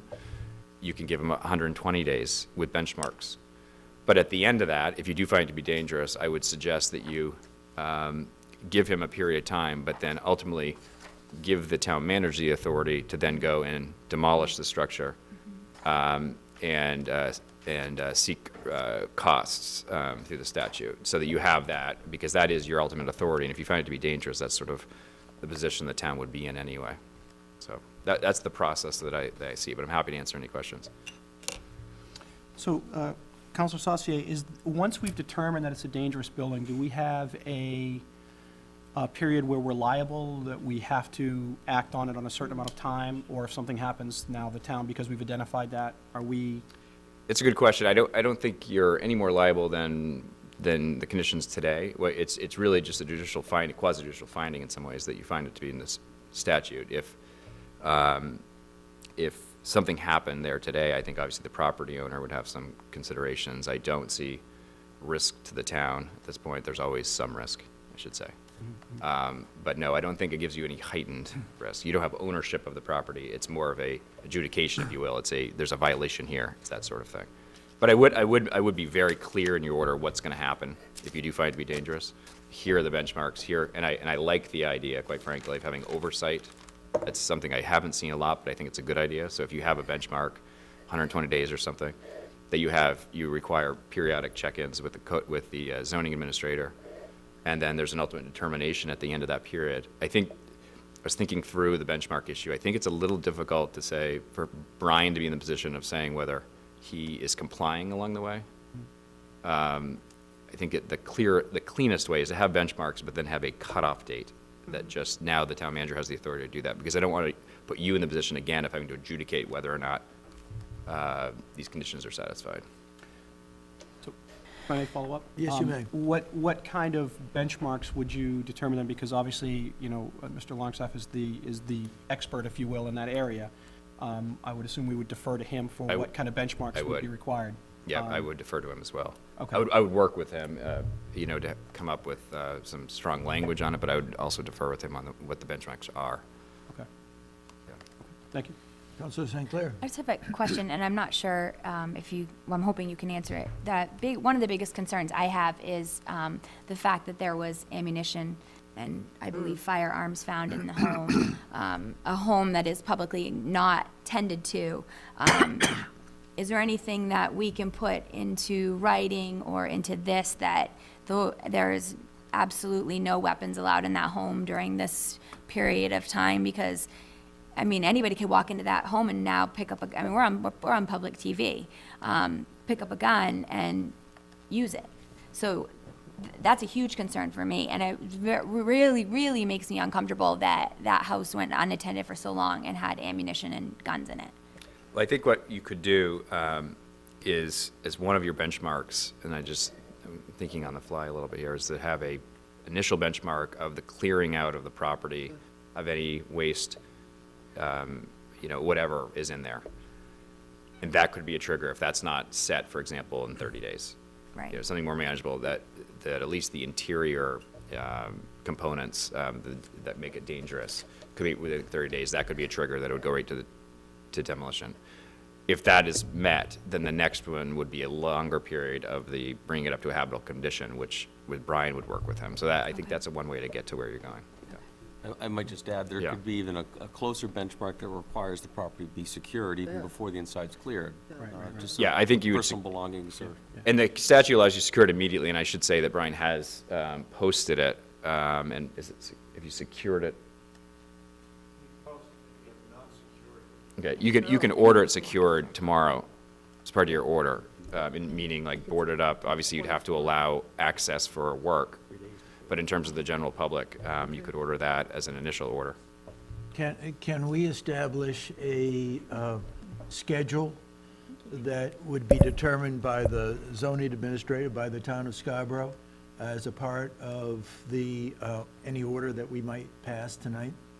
Even though that schedule might not be uh, uh, arrived at, because uh, the zoning administrator would need to speak with the homeowner uh, in an effort to uh, allow for some understanding. Right.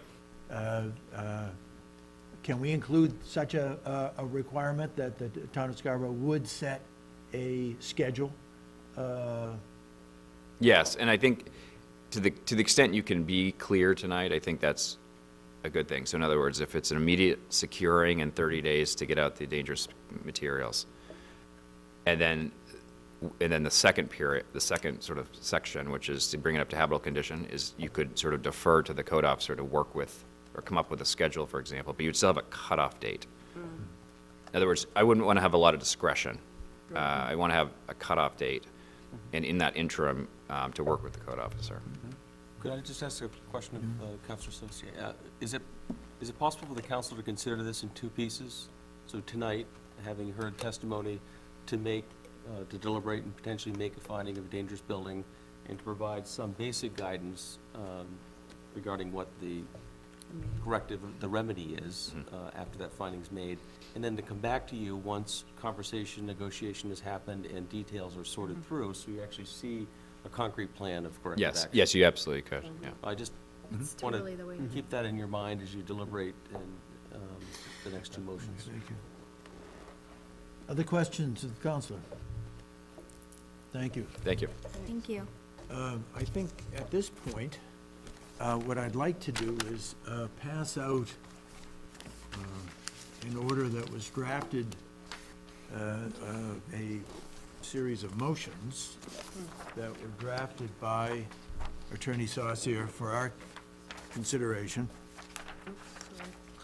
And I'm going to give everyone an opportunity to read them. Obviously, there's two motions, the first being uh, a finding of a dangerous condition, and the second being the remedy aspect. So why don't you take a minute to read that?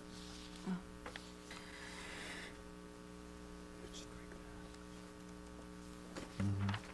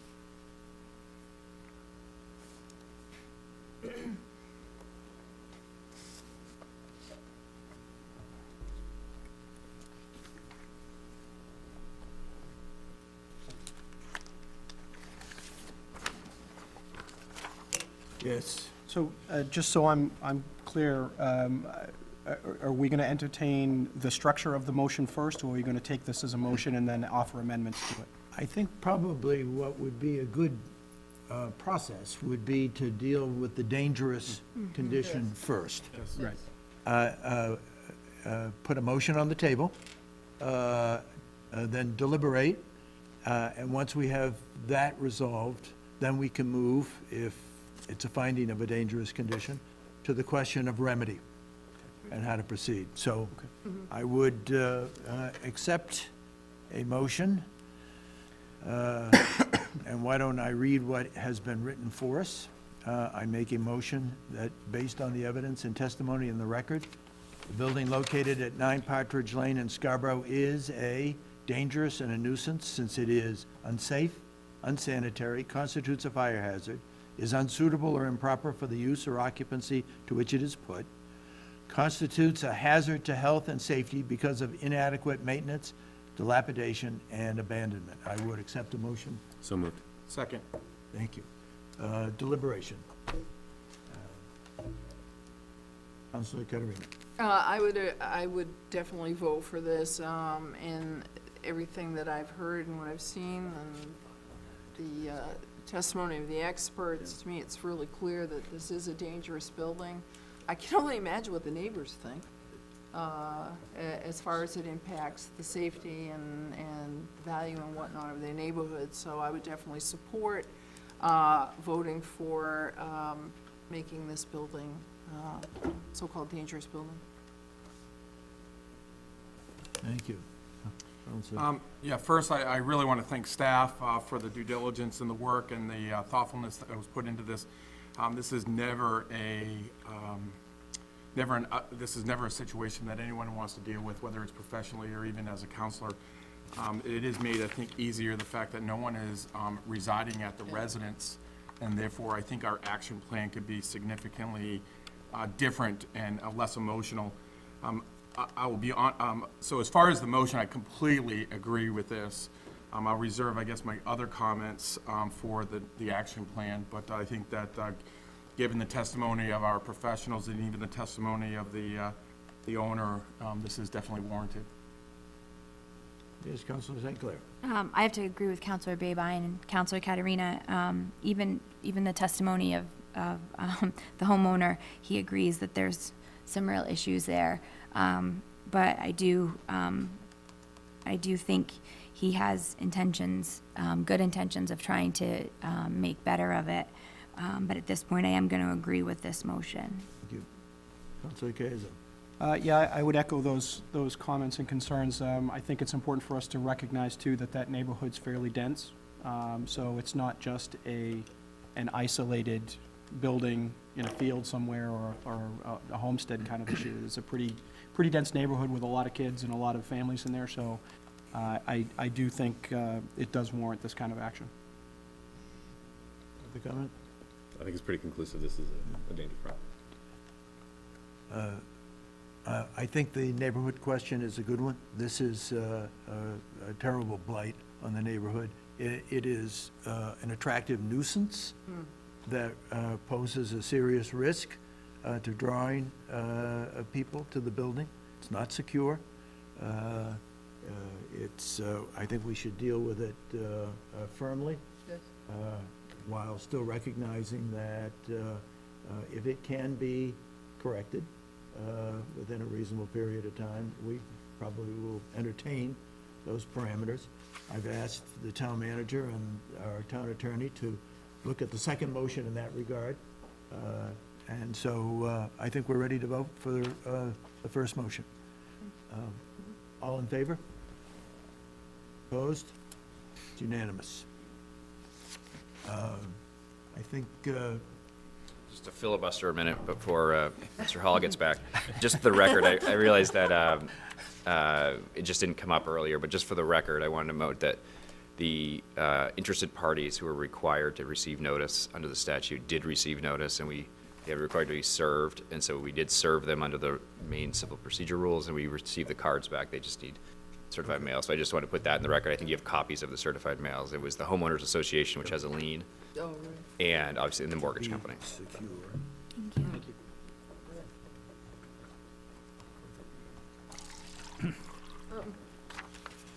Um, Chair, Mr. Chair, Yes, can I ask a question of the yes, you may. council? Council, if you wouldn't mind. Um, There is a mortgage on this property. Yes, Is there any foreclosure activity or potential foreclosure? uh, not that we could find the, at this point. Thank you. Uh, Let me uh, uh, uh, propose uh, that I would accept a motion, uh, and I will read you the language that has been uh, developed. Uh, I make a motion that the owner of the property be ordered to secure the property within 48 hours, and further ordered to either demolish or rehabilitate the building to a habitable, sanitary, and secure condition, and the yard areas returned to and maintained in an acceptable manner to the code enforcement officer by 120 days. And if the owner fails to comply with this order within that period of time, the town manager is authorized and directed to ask for bids for the demolition or abatement of such conditions and recover expenses as allowed by statute. I'll accept- So moved? Second. Uh,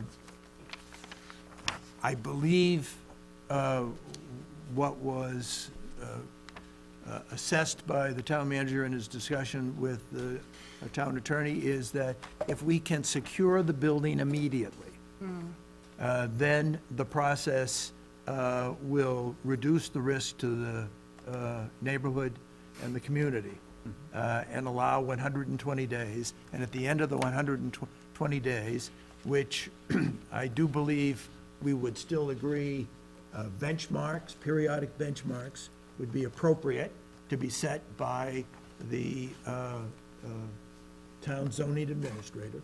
Uh, Within 120 days, this, this property will either have been satisfactorily uh, put back in uh, reasonable condition, as determined by the zoning administrator, or the town will be able to take whatever is necessary for action. Yes, Councilor. Uh, I'd like to offer an amendment. I'd like to, to uh, uh, see that the refuse and dangerous items are removed from the property within 30 days. And if that's not met, that we then have the ability to demolish the property with a trigger rather than setting a benchmark, which we may not be able to uh, take action on. Do we have a second? I'll second. Uh, Discussion. Gentlemen, do Do you want to? I need to think for a second. Oh, go ahead. Well, well, I mean, uh, I, I think that's reasonable. I, I, my, I don't want to say my concern, but I, I think I'd like to defer to, to, to Mr. Longstaff on what that series of events needs to be. Um, I'd like to see maybe some wording that says, that does include the word benchmarks in it to be determined by the, the planning or the code enforcement officer or something like that. My only concern would be, I agree that it needs to be cleaned out, and that's a first and foremost. I think our, our priority here needs to be securing the location first and foremost, no matter what.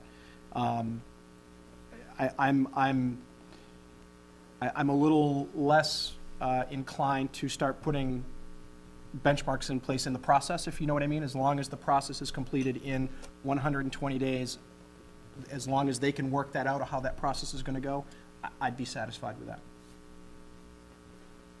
Yes. Okay. So my, my response to that is, I, I think we heard uh, uh, Councilor, uh, Town Councilor Saucier, sorry, uh, not wanting to put um, Mr. Longstaff in a position to make a determination of if significant progress is getting made. But I'd like to have something to, to show that this homeowner is serious about cleaning up his property, and so I want to have a trigger in place so that we could act quicker, um, rather than waiting the full four months.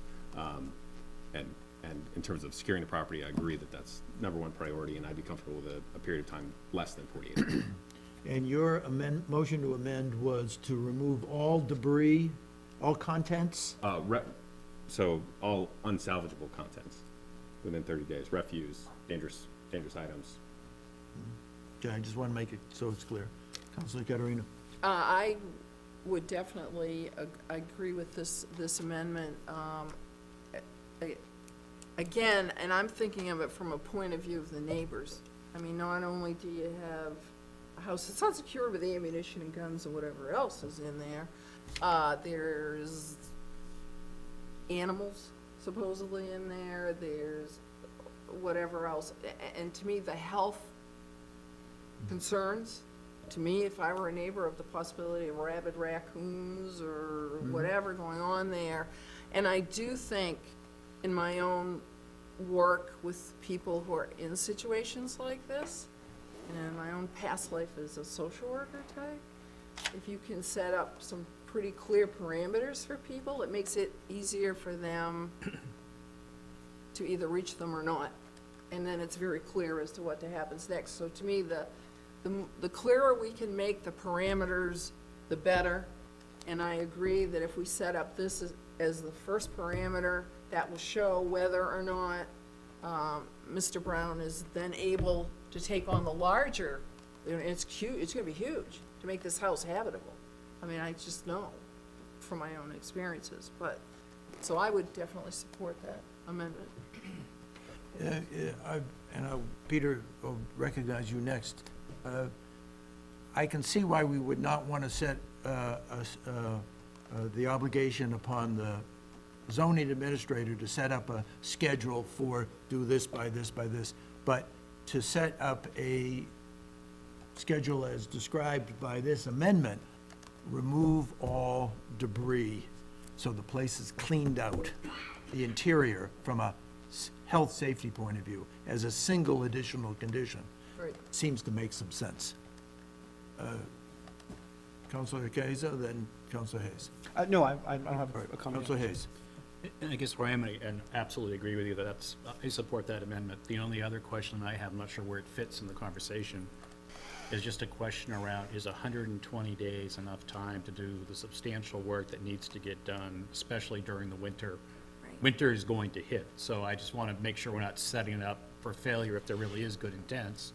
So I, I, I don't know how we, we address that, but I am concerned about the amount, the scope of work that needs to be done.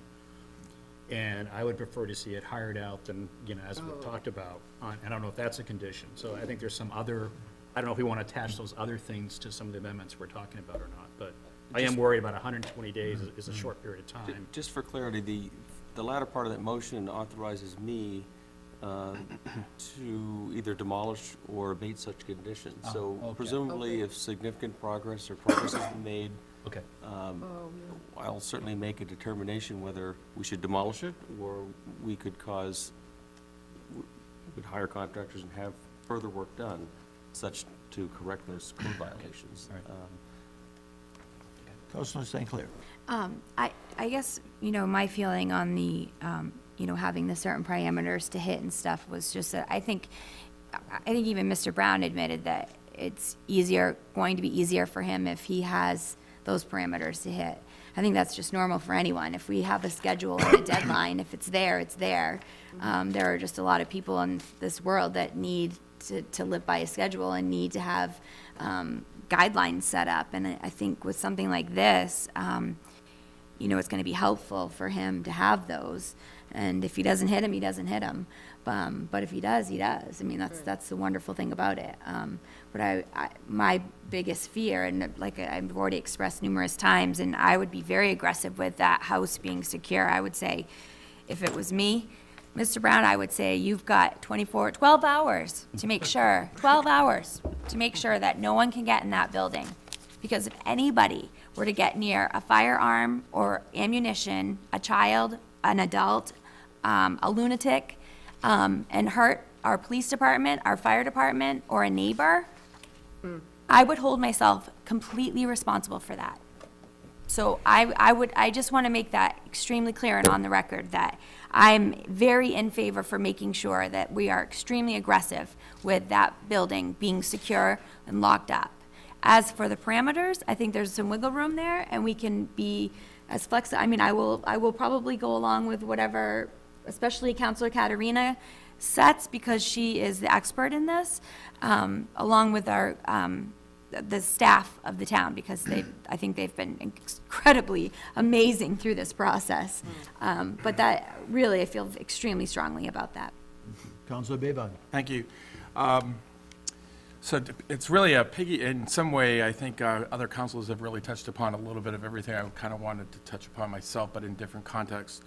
Um, You know, it was said earlier um, that there, you know, that the uh, owner came with good intentions. The problem that I have is that uh, sometimes good intentions is not enough to believe that something will change. Um, Believing is only as a result of having change been really conducted.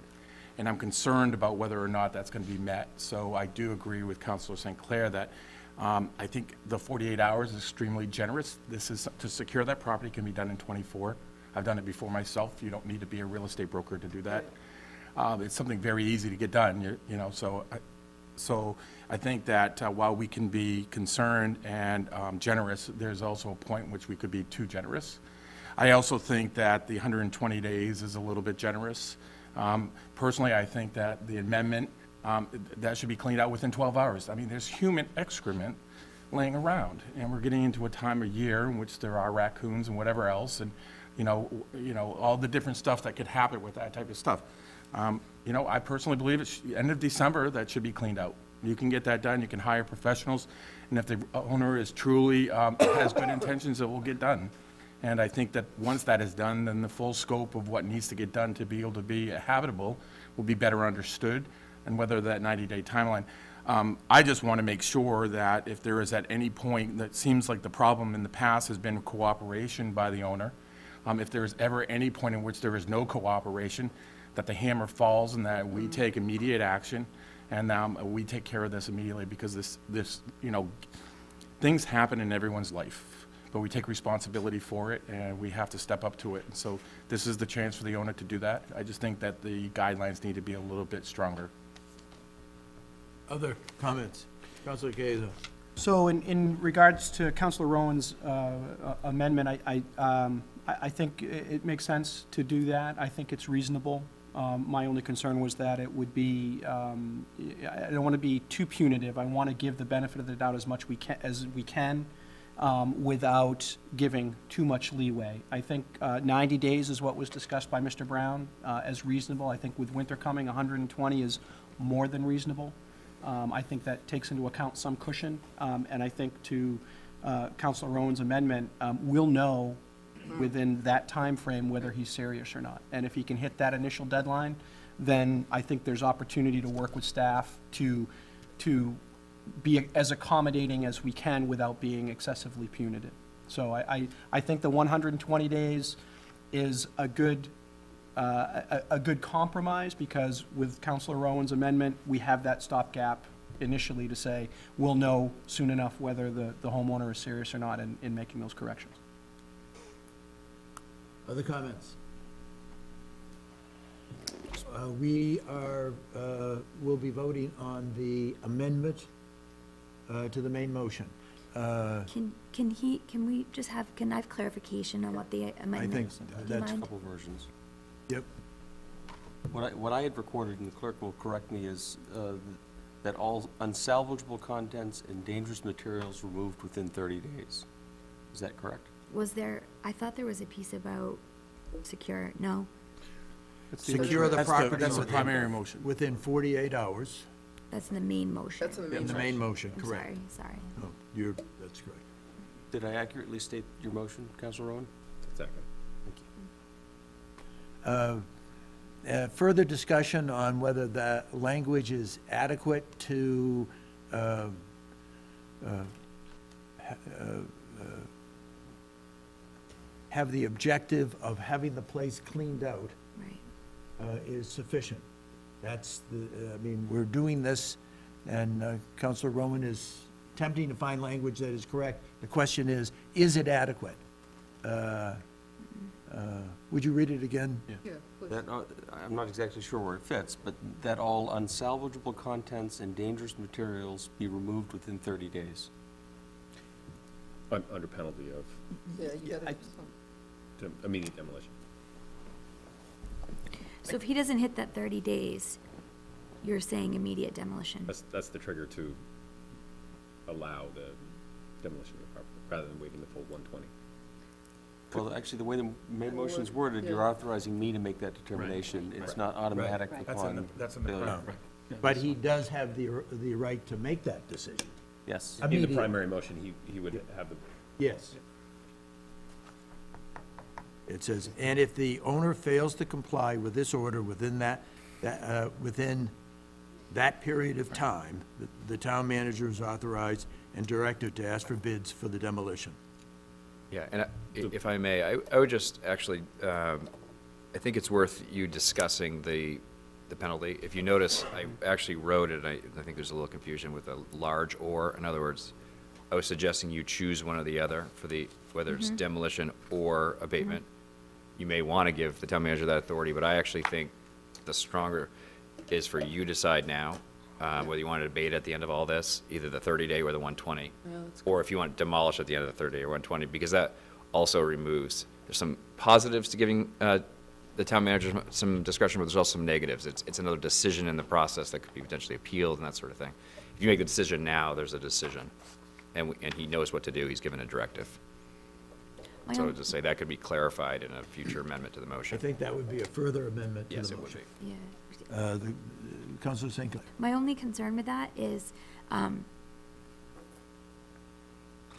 so, like, say we see, say, say at the end of that, he hasn't quite hit it, but Tom sees that he's, he's close and he's making strides to do it, and then we've, but we've already taken away that, that choice, so then Tom's in a bind where he's like, well, he didn't actually hit it, there's, he's got a couple more days' work, but too bad, it's, you didn't hit the thirty days, so, does that make sense? Uh, yes, uh, uh, I mean, I don't want to be too technical here, but. Counsel- Councilor's pointing out that it simplifies uh, the action of the town Yeah, manager. completely. But you're pointing out that the town manager may want that discretion.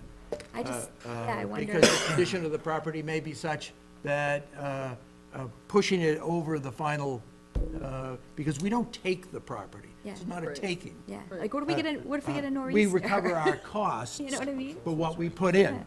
We could get a So- nor'easter next week. But, but let's leave that for whether we have another motion to amend the main motion. Right now, we've got a motion to amend based on Councilor Rowan's language. So let's, let's, uh, uh, let's vote on that if you're ready to vote, uh, or whether you want to have further discussion on whether that language is adequate.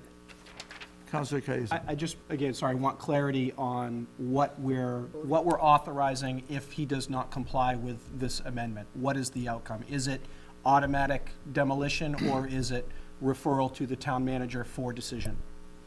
Which, which, I, I wasn't quite sure where we landed on that. the way the main motion is worded, that it would uh, be in the hands of the town manager whether to order demolition Okay, for failure to comply with the condition, okay. uh, or to uh, undertake an order of abatement that would abate the condition. Okay. So the recourse is in the main motion, this is Right. just a trigger? Right. Okay, understood, thank you. Okay, I, uh, ready to vote? On the main On, on the motion to amend. And the motion to amend. This is the motion to amend. Uh, All in favor of the motion to amend? Unanimous. Uh, I, in looking at uh, the language of the main motion as amended now, uh, it, uh, if you would look at what's in front of you, it says, the three lines from the bottom, uh, and if the owner fails to comply with this order within that period of time, well, we have three different periods of time Right. uh, uh, uh, referenced. And so it probably wouldn't hurt to clarify what we mean. That we mean a failure to meet any of the uh, uh, designated time, t- uh, time limits. And so I think I would accept a uh, motion to amend to clarify that point. so moved. Second. We need wording. Yeah, I agree. Thanks, Troy. Would be replacing that with any designated period of time. Any, any of the time commitments? Any other designated uh, Period period of of time time. herein, uh, Herein. referring to the motion itself, which has three different periods of time. Okay. Uh, That, was that mo- motion uh, moved? Yes. Yes. Yes. Yes. And Seconded. accepted? Yes. Uh, Discussion on the uh, uh, motion to amend. Uh, Seeing none, uh, all in favor? Opposed? Unanimous. Back to the main motion. Are there any other motions to amend? I do. Yes. Sorry. Councilor St. Clair. Um, and forgive me if I'm speaking out of turn, um, I would like to make a motion to amend that the property be secured within 24 hours instead of, Second. Discussion on the motion to amend. I'll, I'll just Please. Yes, um, uh, because I made the motion, I'll just reiterate what I've said earlier, just to, obviously, an extreme concern to me that not just, um, I know I'm harping on the firearms and that aspect of it, um, but there are, as other councilors pointed out, other, um, issues as to what could happen potentially if anyone, a child, an adult, a human, it doesn't matter who, gets into that building, something could potentially happen. And I know that none of us would want to see that, so that's why I think that, and I think Councilor Babine made a great point that I, I see them down in Miami, and they can secure their houses in a matter of an hour when they need to, when those hurricanes are coming. So I don't think 24 hours is asking too much out of anybody to secure a building. Do we, uh, Councilor Caiazzo? So again, I just want to be clear as well that what we're saying is because this is part of the timeframes in that motion, if the building is not secured within 24 hours, we are going to take action to either demolish or remedy. I just want to be clear that's what we're saying. Yes. Yes. Okay. Just to be very clear, as regards the first 24-hour notice, I- obviously demolish will not be accomplished in the near Right. term. We would take efforts to secure the property Okay, ourselves, first and Correct. foremost, and and Right. allow time for proper bidding and for the work to be performed. Comments on uh, the amendment uh, to uh, set 24 hours? Councilor Caterina. Had to think of my name for. Um, I, I could go with the twenty-four hours also. I know, again, in my business, they secure these buildings really fast. When those mortgage companies want to secure them, they get, they get secured, so Yeah. let's do it. Thank you. Any further discussion? We're voting on the motion to amend, uh, to change it from a 48-hour uh, uh, securing of the building to 24-hour securing of the building. All in favor? Opposed? Motion is unanimous. The main motion is now back on the floor. Any further amendments? Any further discussion? Uh, Councilor I, I just want to mention, and I hope there's a consensus to this, that is that the legislative intent behind our action is that um, while we can provide leniency, we do need to take this seriously, and that um, we're hoping that um, any lack of cooperation triggers uh, the town manager having to intervene and uh, take appropriate action immediately. Certainly the spirit of our feeling. Yep. Any further uh, discussion on the main motion? Uh, All in favor? Opposed? Unanimous. Thank you.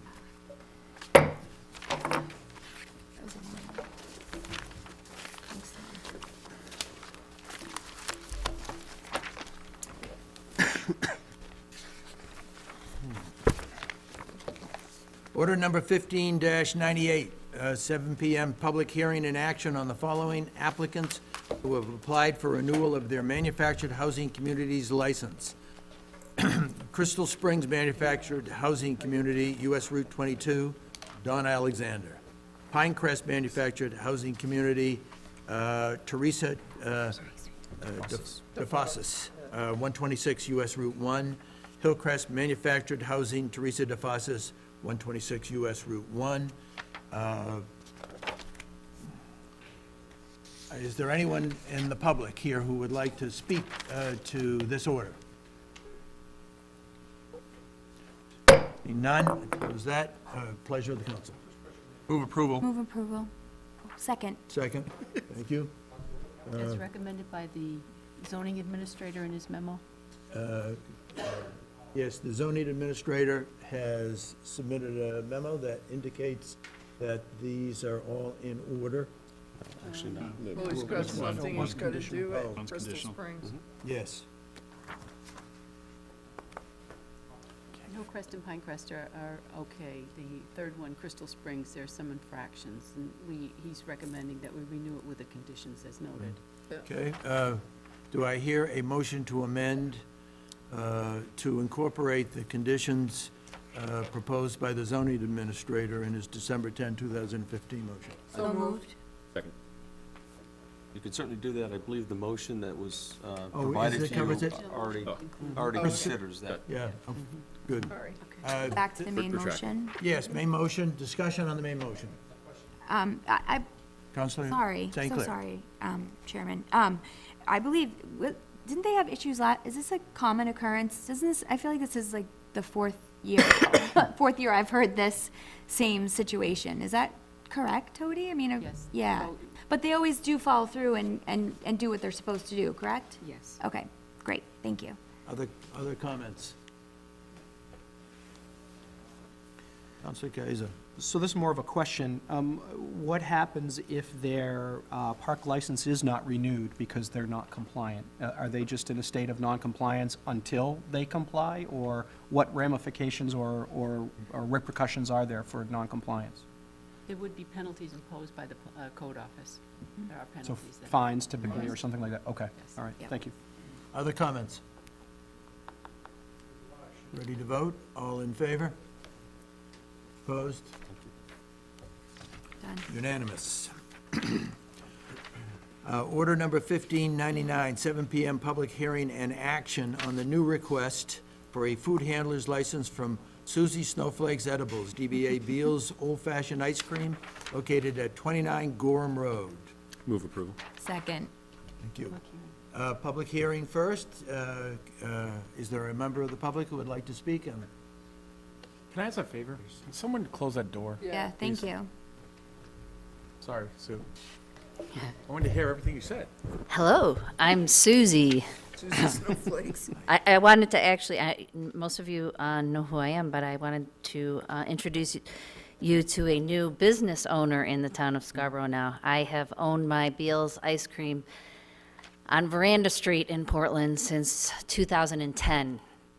And uh, the Malia family that manufactures the Beals ice cream over in Gorham, they started in Scarborough. So it's a Scarborough family, Scarborough business, and they made it over on um, over at Pine Point. They're still going to be making it. They still live in Scarborough, and they wanted to make sure that uh, Scarborough had a presence, that the Beals ice cream had a presence. But they were not able to keep it open during the winter and really wanted to somehow um, make sure there was a presence there. So they approached me to purchase it. So um, I am the Susie and Susie Snowflakes, and my cousins called me that. I could not be called Beals Ice Cream at the state because we have to incorporate in a different name.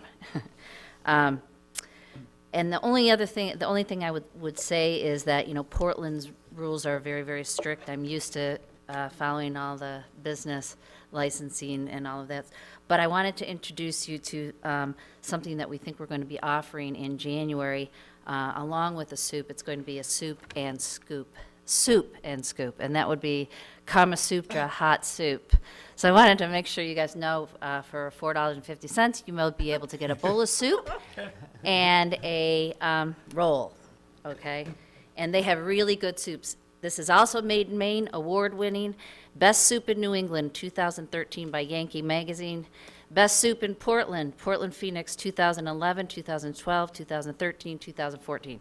And I don't know about 15, I don't know, maybe somebody else is doing better soup. I don't know what happened to 2015, but, but anyway, so, um, two local companies, good, and I'm excited that I'm not a business owner, and that's all I'd like to say. Well, hopefully, if you guys give me a license. Okay. Thank you. Uh, Other uh, uh, public comment? Seeing none, I'll close the public hearing. Uh, The matter has been moved and seconded. Discussion. Um, Counsel St. Clair. I'd just like to say Sheila Malia was my first boss at the Beals in Gorham. So we go way back. um, so I'm, i I'm excited for you. I, um, I have a real soft spot for Beals ice cream. They're amazing people, um, the Malias, and um, they grew quite a business for themselves. And um, they're g- very good hearted people. And um, I'm excited for you to be able to grow your um, business. And even though they're already sort of here, welcome for the rest of you to Scarborough. I think it's great. Thank you. Congratulations. As Other comment? Councilor Caiazzo. So uh, I, I also always encourage new business in Scarborough. I think that's wonderful. Um, I, perhaps we could work something into our protocols where we'd have to do sampling first before we approve licenses. Further comments?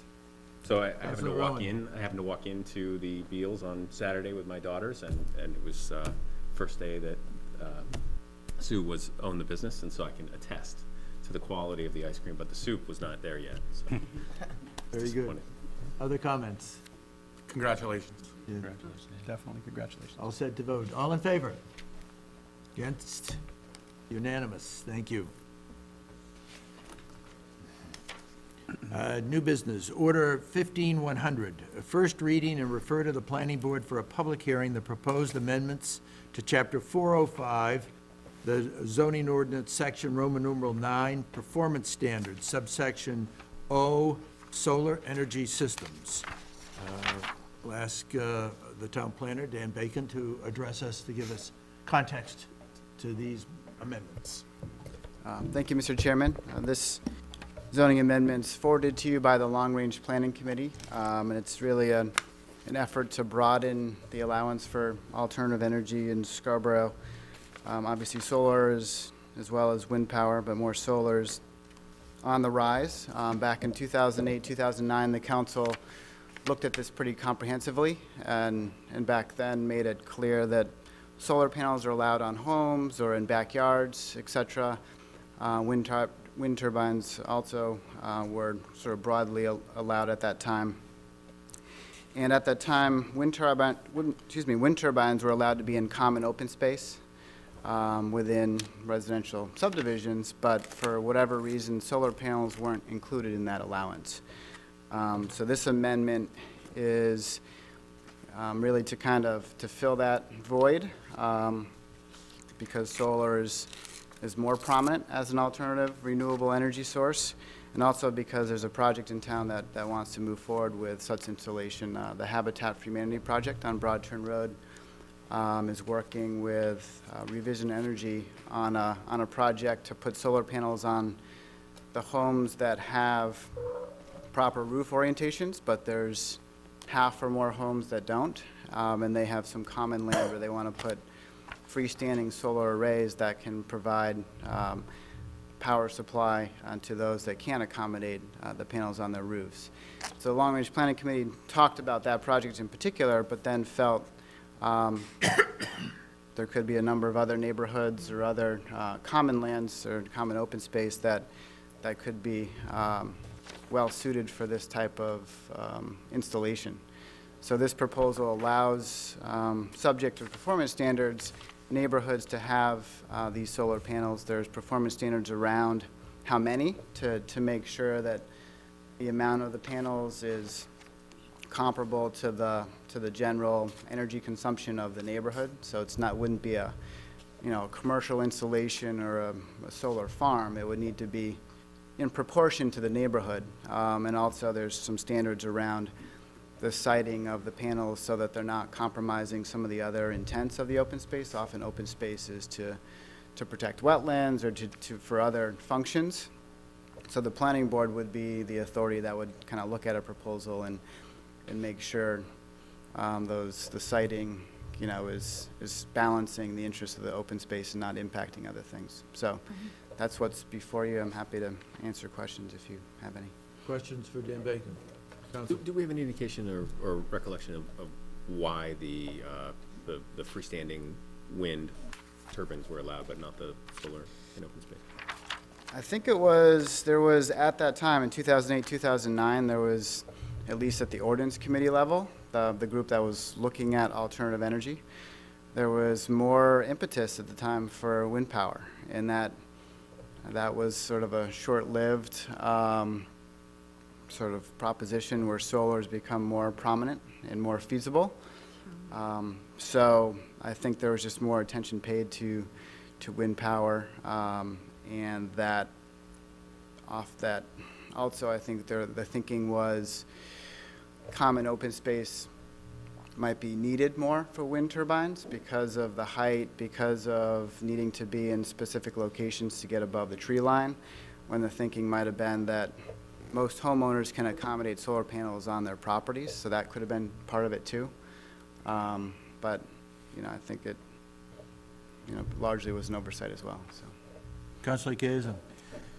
So, um, I, I noticed, you know, obviously with solar, it's, it's surface area and, and amount of space. Um, I guess my, my real question is if you have a group array for, let's say, a series of three or four or five buildings, um, is there been a, um, a- approach to the, I guess, return on investment type of thing? Because if you're limiting the space, the footprint from this, which would kind of override? Because if you had more energy requirements because of more buildings, let's say, tying into it, you'd need more space. So I, I know that that would be a, a, a decision that the planning board would make, but is there a restriction in here saying basically that the square footage overrides the energy consumption or vice versa? Does that make sense? Yeah, there, there isn't intended to be any square footage limitation in terms of the size of the panels in this language. Um, There's intended to be a limitation in that um, the amount of panels and their forecasted energy production can't be way out of proportion with the num, with the consumption of the number of homes in the neighborhood. So that's really more the limiting factor. Um, You know, probably the more rural subdivisions, it's going to be a lot easier to accommodate the necessary solar panels because often half of the subdivision is common open space and there's a lot fewer homes per acre, so you probably can, if you clear some trees or if there's open fields, you can probably fit adequate panels. I think in the more compact neighborhoods, it might be more challenging because there might be smaller pieces of open space and a lot of, a lot of homes. It might, that might be the limiting factor more than anything, is just how much open space you have that's usable for this purpose. Does, the- does the PUC treat these collective residential facilities as, under the same rules that an individual home would be treated? I believe they treat it differently in that I think the PUC allows maybe up to nine or 10, you might know the answer to this. Do you know that, Jean Marie? For those of you who don't know, I have solar panels on my house and I totally power my whole house, my heat, everything with solar panels. I love it, it's fabulous. And even on cloudy days, believe it or not, you're generating electricity, so that's my plug for, for solar.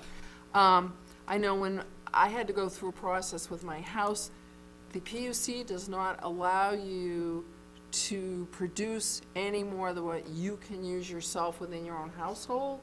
So that's the limit, so to speak, so that they would multiply that by whatever their factoring is for square footage and whatnot and usage in the house. So they don't want The you. question is, does that rule for a single household uh, apply to uh, a collective? Yeah, And they have a limit on the number that they will allow uh, to be done in a collective. think it's And Is it nine. nine? I think it's nine. So But even if you have fifteen houses in a subdivision, they'll only allow up to not, to power totally Right. So uh, nine. this answers the question of whether people should be concerned about a commercial size application. Right. Uh, Because the PC PUC rule says Right. a- if you have a bank of, uh, of hours of, that you've built up, Right. solar panel hours, uh, if you don't use up that bank within one year, It goes away. CMP gets it for free. I know. So that's, that's the way, so no one builds these systems in a residential setting any larger than what your normal capacity is. Right. Because you need to use it up every twelve months. And they show it right on the sheet they send you. They don't, they don't want you being a generator. And so to that's speak. just what the compromise was for PUC, uh, the PUC saying that they are going to make, the CMP give you a full credit, fifteen cents a kilowatt hour. Uh, and that was just a big trade-off at the time. So But I I, think in I do think if it, if it's controlled by residential rules, then it will naturally restrict its scope. Well, you notice that written into this new, I'm, oh, I'm sorry. I'm sorry. okay. Uh, Peter? Dan, just a quick question. I- I, I do understand this is really early in the process, but mm-hmm. have you had any type of public feedback about, you know, I mean, I can imagine some of these green spaces where there may be competing uses for that space. That solar arrays are usually not, or not the most attractive things in a neighborhood. Have have you had much feedback from any, and I'm sure this will come out in the public hearing, but that would Yeah. be my concern about, would, would re- other residents be concerned about sort of the aesthetics and what that means in the neighborhoods? Yeah, we, we haven't had feedback, we haven't had broad outreach Yeah. yet. It's, it's, this is a kind of a broader amendment. It's not specific to a part of town, so it's a little bit harder to, to get widespread feedback. Um, I think that for existing neighborhoods that have common open space, uh, in many cases, that open space is owned by, collectively, by a homeowners association. So, um, in most cases, there needs to be majority agreement Yeah. within an association before such a project could move forward. Um, And, you know, kind of looking forward, if, if this is approved and new projects come in, then, and that's something a developer wants to incorporate as part of the project, then the, the homeowners are gonna be aware of that and maybe buying in or not buying in based on that. Um, But really, the only conversations we've had outside Long Range Planning Committee at this point has been with Habitat, who's the first one that wants to utilize it. Excuse me. So I just want to be clear, we're talking about freestanding solar arrays, not roof-mounted arrays. That's a separate, that's a separate installation, because your house is, Right. Councilor Caterina, is, is roof-mounted. Right. Um, and is, are, I don't believe there are any restrictions in terms of individual roof mountings, in terms of the number per unit. So if there's twenty homes in a development and all twenty want solar panels on their roof, as long as they're within the zoning requirements of height and things like that, then it's acceptable. Correct. Right now, that's allowed. Um, And if you have the right roof, you can do as many as you can fit, um, subject to PUC. Yep. Um, And I think there's some potential for PUC standards, hopefully to change, in terms of the tightness around um, solar panels that are inside common open space or on a property that maybe can be generating for, um, you know, users off the property. But I think to answer your earlier question, I think it's nine, I think the energy production using solar panels on, say, a lot can be transferred up to not, to nine different properties or different owners. So in the case of common open space, maybe there can be games played with how many lots that is, but if there's an open space over here, could serve maybe nine properties within the neighborhood, maybe there's open space over there that's suitable, could serve another nine. So I believe that's the current limitation at the PUC. Other questions for Dan? Thank you, Dan. Uh, Any member of the public who would like to speak to uh, this matter? Close the public hearing. Uh, uh, Move approval. What's your pleasure? Second. Move approval? Second. Second, thank you. Uh, Discussion. Councilor Babine. Yeah, so, um, again, this is, uh, another opportunity, and I brought this up at the, la- I think it was the last meeting when we talked about changes to other ordinances. As part of the planning board's recommendation, or at least the review, I'd like to seek, um, the opinion of either the planning department or even the planning board. Um, you know, I have this, uh, thought that I'm just going to stick to. and um, what I'm concerned about is that I want to make sure that when we're thinking outside the box and we're changing ordinances, that there's an evaluative process that goes back to the comprehensive plan and determines, is that change consistent with the comprehensive plan? And if not, what do we do to mitigate any public concern around that? And so um, this could be something, and of course, you never know whether or not something is going to be accepted by the public um, until they be, until we make a decision, and then there is some type of activity. So I would just like to, um, and for me, it really becomes more of a standard practice that when we start these type of changes, um, including contract zones, you know, um, take a look at the comprehensive plan and making sure that we're being consistent. And if it is, if it can be highlighted, because it supports the work that a lot of people did. And if it's not, then we make some type of recommendation to change the comprehensive plan that allows it to be consistent. So if that can be part of the evaluative process, I would appreciate it. Councilor Caterina. Uh, yeah, this was thoroughly vetted, uh, through the Long Range Planning, uh, Commission, um, and that did come up. But, uh, comprehensive plan, we are coming up to time to do another comprehensive plan within the next couple of years. Um, there was a lot of support on this, and as you know, this will be going to the planning board for the public hearing. Yeah. Um, so it will get a lot of, it will get a lot of public attention. Other comments? This is a, uh, Councilor uh, Hayes. Councilor Hayes? Yeah, I, I guess, I guess, you know, kind of follow up on my earlier comments, and some of the comments, I, I'll support this amendment, but, but I am very interested in the public comment that does come out of this, and it'll be real interested to see what folks have to say about this, so we'll support it for now, but Absolutely. We're ready to uh, uh, vote? All- All in favor? Opposed? Unanimous?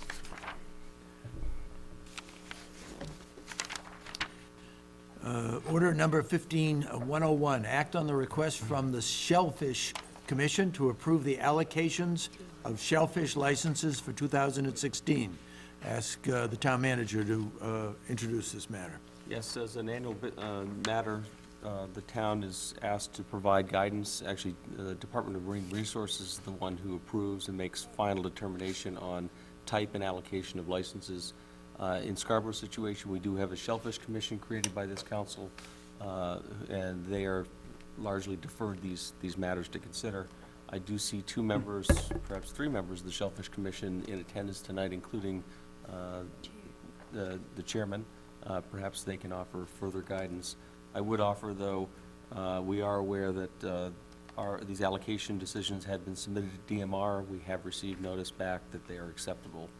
Um, Perhaps they have other input they'd like to provide. Thank you. Councilor Hayes, uh, any comments at this point? Yeah, I, you know, I, I, I sit as a liaison, liaison to the group, and I, I've been really impressed by the process they've gone through. They've had many discussions about this, and it was really kind of interesting to watch the process, because they had a diversity of opinion, they have a diversity of folks, and they really did a great job of kind of sitting and listening to each other and finding some middle ground that, which is what they're recommending. And I think some of the folks will probably talk about it but I really compliment them. It was really, a, a, it was, it was, it was rewarding to kind of watch that process where they, they really, they had, there were different views in the room and lots of good reasons, and they shared a lot of information, and I feel very comfortable with the recommendation they arrived at. So, Thank you. Really compliment them. If any member of the Shellfish Commission would like to uh, address this order, uh, please feel free to do so at this time. Good evening, council. Uh, My name's Robert Willett. I'm the chairman on the Scarborough Shellfish Committee. Um, We had a seven to zero vote on recommending uh, keeping the license numbers the same as 2015. Um, We did that through public testimony and and facts and and uh, information that was submitted to the committee. And then we discussed it and- and came up with our decision. That's pretty much it. Thank you. Any questions? Okay, thank you. Other members?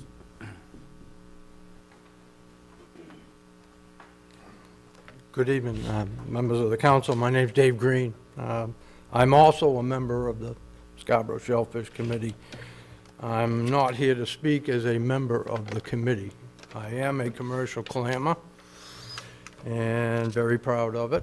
Uh, As Mr. Hayes can attest to, uh, what what happened at our last meeting last Tuesday night uh, was a lot of pulling of hair and gnashing of teeth.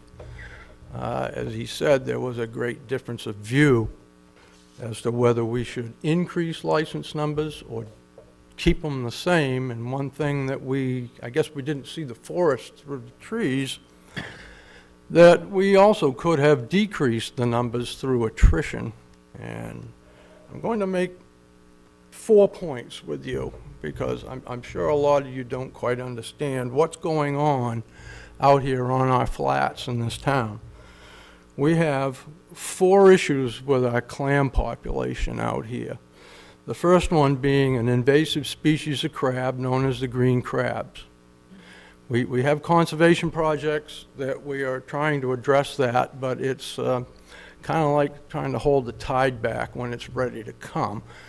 Mother Nature's done an awful good job of introducing green crabs to us, so we're uh, a bit stuck with those to a point. The second thing that we have is milky ribbon worms. Um, I almost wish I'd have brought some pictures for you to see. But these worms literally are, are three and four feet long. They are a voracious predator of clams. And they are becoming to the point that they are outnumbering the clams when you go dig. You will pull more worms out than you will clams. So we're up against that, and we're trying to come up with some uh, ways of dealing with those. Uh, The third thing is ocean acidification. As you probably read, Press Herald had a pretty good article about some of that. Uh, That uh, we're going to look into how we can address that also. And the fourth thing is the clammers ourselves. We're, we're the biggest predator of clams out on the flats, okay? Uh, And as far as I'm concerned personally, I'm not speaking for the committee, we have too many licenses in this town already. And that comes from back in the good days when we had lots of clams, very few predators. One thing that we don't do as a shellfish committee or as a town is we don't take anybody's license away because we think we have too many now, five years after we had tons of clams five years ago. We don't have tons of clams today. So, as a committee, we opted to uh, keep the numbers the same, but personally, I believe we should probably cut them by five. And I'm not saying that we're going to take anybody's license. We would do that most likely through attrition.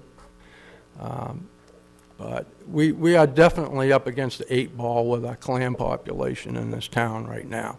We have a lot of seed, but you can't count your chickens before they hatch, okay? Many, many things, the poor little clam out there on the flats, he's on the bottom of the totem pole.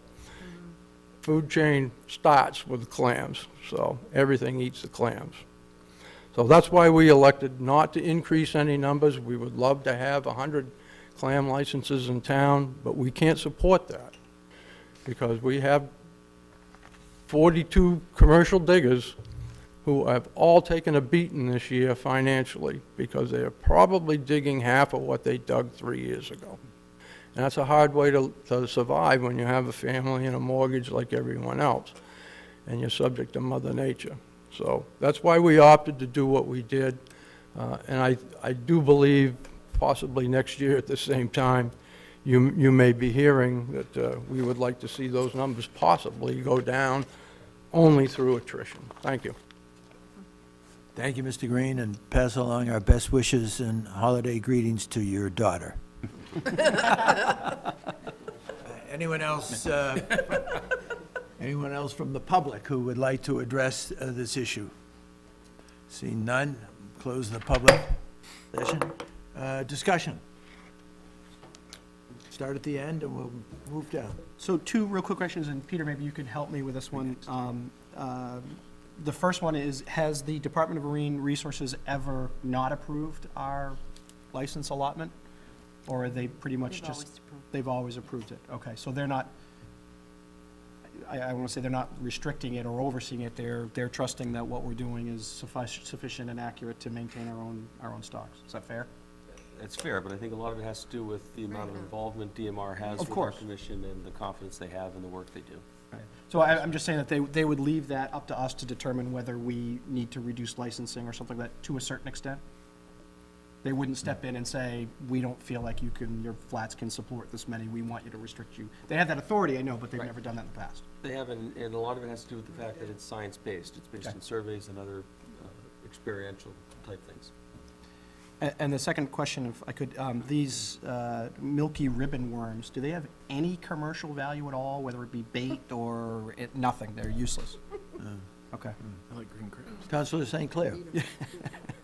I can't talk after that milky ribbon. Oh, jeez, I'm gonna have nightmares. Um, I just wanted to thank you for both of you for coming in. I, I can honestly say that you know a lot of times um, we sit up here and we we get a lot of the same stuff and we go through it and um, but I. I love when I can get even a even a sliver of an education from something that you're doing, and um, you know I think um, our, the fishermen in this town and, and, and you and you guys, I, people don't understand how hard you work. And like you said, your population is dwindling, and yet you still have a mortgage and a family and things like that. So anytime that you can come in here and even if it's about the milky ribbon worm, um, I'll still take the education because I think it's really important for people to understand what you are up against, and it's a lot. So thank you. Other comments? Councilor Caterina? Yeah, I, I just want to thank the members of the Shellfish, I can't even talk, Shellfish Commission, say that fast three times, um, for the work that I know all of you do. Uh, I depend on, you know, the information that you folks bring back to us, because I'm not a clamor, I've never been a clamor, uh, don't plan to be a clamor. Um, but yeah, that worm, I've heard about that worm, and it's really disgusting. And my, my assumption, I know there's some stuff going on in Augusta, particularly the ocean ac- acidification. Um, and uh, I'm, I'm assuming that you guys are staying on top of all those developments and legislation and whatever uh, going on up there. And I would certainly, I support whatever, they're the experts, we aren't. And whatever they feel that needs to happen, I'm happy to support that, so. Thank you. Councilor Rowan? So I want to also echo my appreciation for you guys coming in tonight. Uh, The questions that I had uh, about this when I was reading my, my uh, materials was about the sustainability of the harvest. And I think what, what uh, Mr. Green was, was mentioning was really very alarming in terms of if the, the catch is falling, um, you know, in half in three years, that's very concerning. I'm very concerned about the health of the, that harvest. And, um, but, the you know, the commission brought this forward 7-0, so I mean, it it sounds like that's the appropriate number this year anyway. Councilor Babine? Thank you. Um, Believe it or not, I have a close connection to clammers. My grandfather was a clammer, and my father actually was a DMR biologist who used to go around testing clam flats, or uh, red, for red tide, not the flats themselves, yeah, flats. I was really young. So I can tell you all kinds of stories about uh, the old days, and I've shared it with the committee when I was their liaison, and to know a few of the older guys. Um, I have an incredible amount of respect for the work that they do and the dialogue that they have and the discussion. Um, so I hope that the question I have isn't taken out of context. Where, because there's always been this balance of, um, we get the, prof- we get the professional recommendation of the diggers, then we have the liaison's interpretation of that work that's done. The one piece that's missing, and it's the first time missing, is the um, Marine Resource Officer who isn't here. Um, uh, How is um, the professionals on the staff side, uh, I- obviously, they're in agreement that this is the right number. We usually have Dave Corbo, who's here to say, that this is exactly what we need to do. Um, Has staff kind of looked at that and said, yes, this is good? I don't- I'm not aware that staff's been involved in this particular seen that. conversation, uh, but I, I think we can rest comfortably the, the fact that DMR has looked at it. um, Okay. And Dave has always worked very, very closely with them. So I, I will say, just, uh, we're very close to having a new. That's the real answer I'm looking officer. Uh, We expect that person to be starting the first week or so uh, Good. of the new year. Yep. Other comments? Uh, I think it goes without saying that if there was something as a municipality that we could do to support uh, and protect against these predators, we'd want to hear it from you so that we could make an attempt. I get the impression that this is much larger than the town of Scarborough. Uh, And that's, uh, uh, so it is in the hands of the state. Uh, Any further comments? Uh, All in favor?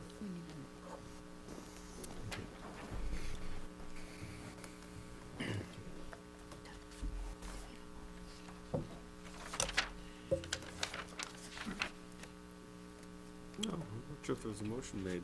There wasn't a motion made. Oh, let's, Uh, let's, let's rectify that. Yeah. And, uh, And before, and before So we do, moved. any other members of the public? Uh, Sorry. Seeing none, uh, uh, what's your pleasure? Uh, Move So approval. moved. Thank you. Second. Second, thank you. Any further comment? All in favor? Get distracted by shiny blingy things. Order number 15102, act on the request from the deputy tax collector for a waiver of foreclosure on the following properties. Uh, 4 David Drive, map T uh, 003, lot 004, 20 Crystal Lane, map T 003, lot 020, and 332 Garnet Drive, map T 002, lot 332, 29 Matthews Way, map T 003, lot 029, and authorize the town manager to sign the necessary documentation. Uh, Town manager will, town manager will introduce this matter. Yes, um, this time every year, actually the 23rd of this month, foreclosures uh, will be automatic. These are for taxes that are uh, 18 months old at this point, that have gone through the uh, required lien and notice process. These particular properties, and again, I I- should back up, Maine law is very specific and some might say cruel in that foreclosure is automatic. Um, The council must take action such as what you're considering tonight to stop it. Uh, The reason that these properties are singled out from the others is that these are all manufactured homes um, of a certain age and condition that they're really not of value to us. In fact, uh, they might be a liability. Uh, They sit on leased land, and so it's uh, fairly routine. We look at these fairly carefully, and it's not uncommon. In fact, most years, uh, a similar request is made for the council to consider. Um, Public comment. Anyone who would like to address this matter, please approach the podium. Seeing none, close public comment. Um, What's your pleasure? Move approval. Thank you. Second. Thank you. Um, Discussion. Councilor Caiazzo. So um, I I appreciate that explanation from, um, uh, from Mr. Hall. Uh, Is there still a, a lien on the property as well, so that the taxes are recovered if it is sold or? if- Yes, certainly, I beg Okay. your pardon, I neglected to say that. Liens stay in place, and so the town's interest by way of unpaid um, taxes is is still in place. Okay, thank you. Other comments? My, my assumption Counselor being, my assumption being that, uh, since we don't want these things, that they're probably not gonna bring much. We're probably right. not gonna see the money. It, it does happen. Uh, These items are sold, um, so I, I- I still hold out hope, and we have, uh, liens are secured. Yeah, unnecessary to embroil ourselves in uh, Yeah. high-risk, low, ret- low return uh, matters, so this is probably appropriate. Any further comments? Just, Counselor Rowe. just a curiosity, how do, how do we make that determination, just the, and who on staff? Goes- Do we look at them, do we? how do Well, we- because the tax bill's been generated, we have an assessed value of the, uh, of the manufactured home, uh, and it's typically uh, very low value, the older ones. Yeah. Uh, I guess the other thing, just to keep in mind, low value means low tax amount, so we're not talking about huge sums of money here. Um, Really, the headaches associated with owning this uh, far outweigh um, the tax value at this point. Thank you. Other comments? None? Uh, All in favor? Opposed? Unanimous. Um, Order 15103, act on the request to accept the following donations to the police department in the amount of $17,750 and to the fire department in the amount of $15,000. I'll ask the town manager to introduce this matter. Yes, we have a very generous uh, town resident who made a basic inquiry to both police and fire departments as to whether they had any items that they've been considering, uh, but for whatever reason, they could not fit into their budget. Uh, And uh, I think gratefully, both chiefs accepted the invitation and came up with a list of uh, nice-to-have things, if you will, Uh, and they're both here in attendance tonight. I'd really like to defer to them to perhaps describe their intended use of these funds, uh, if that's, pleases the council. Very good. We have both chiefs in attendance, and like to hear from them uh, on this, and thank you for your patience. This has been a long evening. They hadn't noticed. Yes, the family uh, is uh, Sue and Jim Conkle. They they don't do this for the publicity, but uh, certainly we're very appreciative. Uh, This is not the first gift that they have made a donation that they've made. They assisted us with some AV equipment and smart boards in the public safety building uh, back last spring. Uh, They actually have donated a house that both police and fire have made extensive use out of in training that is eventually going to be used in a live training burn uh, sometime next spring or summer. Uh, And the fire department gift, this most recent gift, was to purchase three of the, um, their kits that go for our rapid intervention team uh, with emergency air bottle supplies. So if one of our firefighters runs out of air inside a building, we bring this kit in with us with a specialized team. We can plug that uh, supply air into their existing masks so that uh, we can make that rescue an effective rescue. So uh, just very appreciative of the relationship that we built with the Conkles and, and most appreciative of their very generous gift.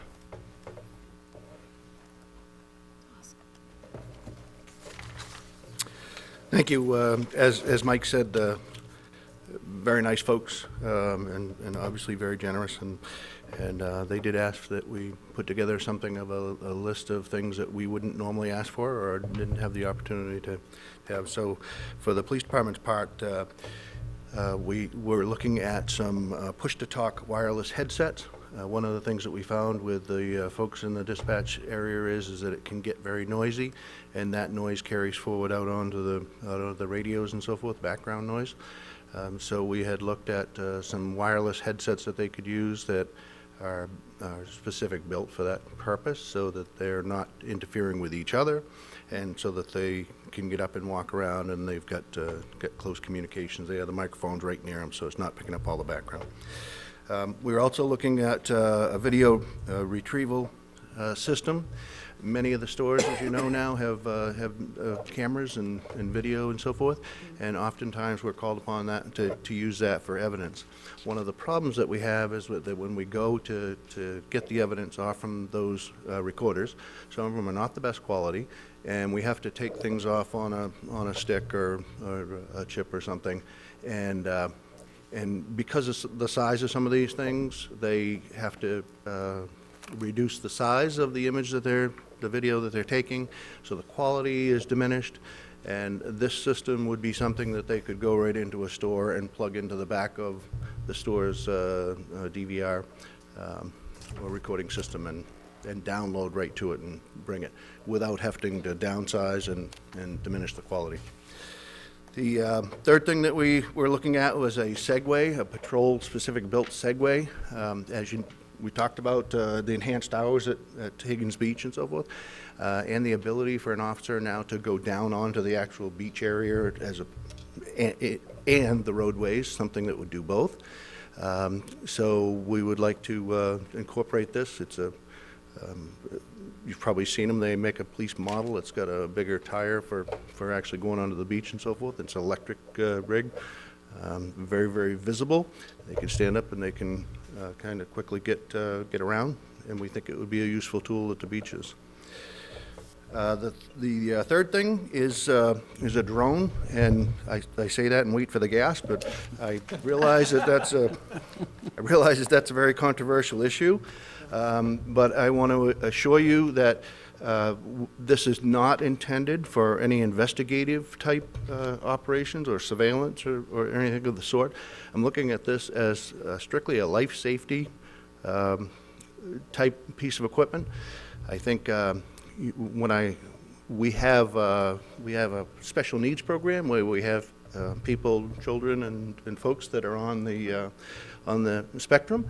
And uh, we also have Alzheimer's patients and so forth that we register.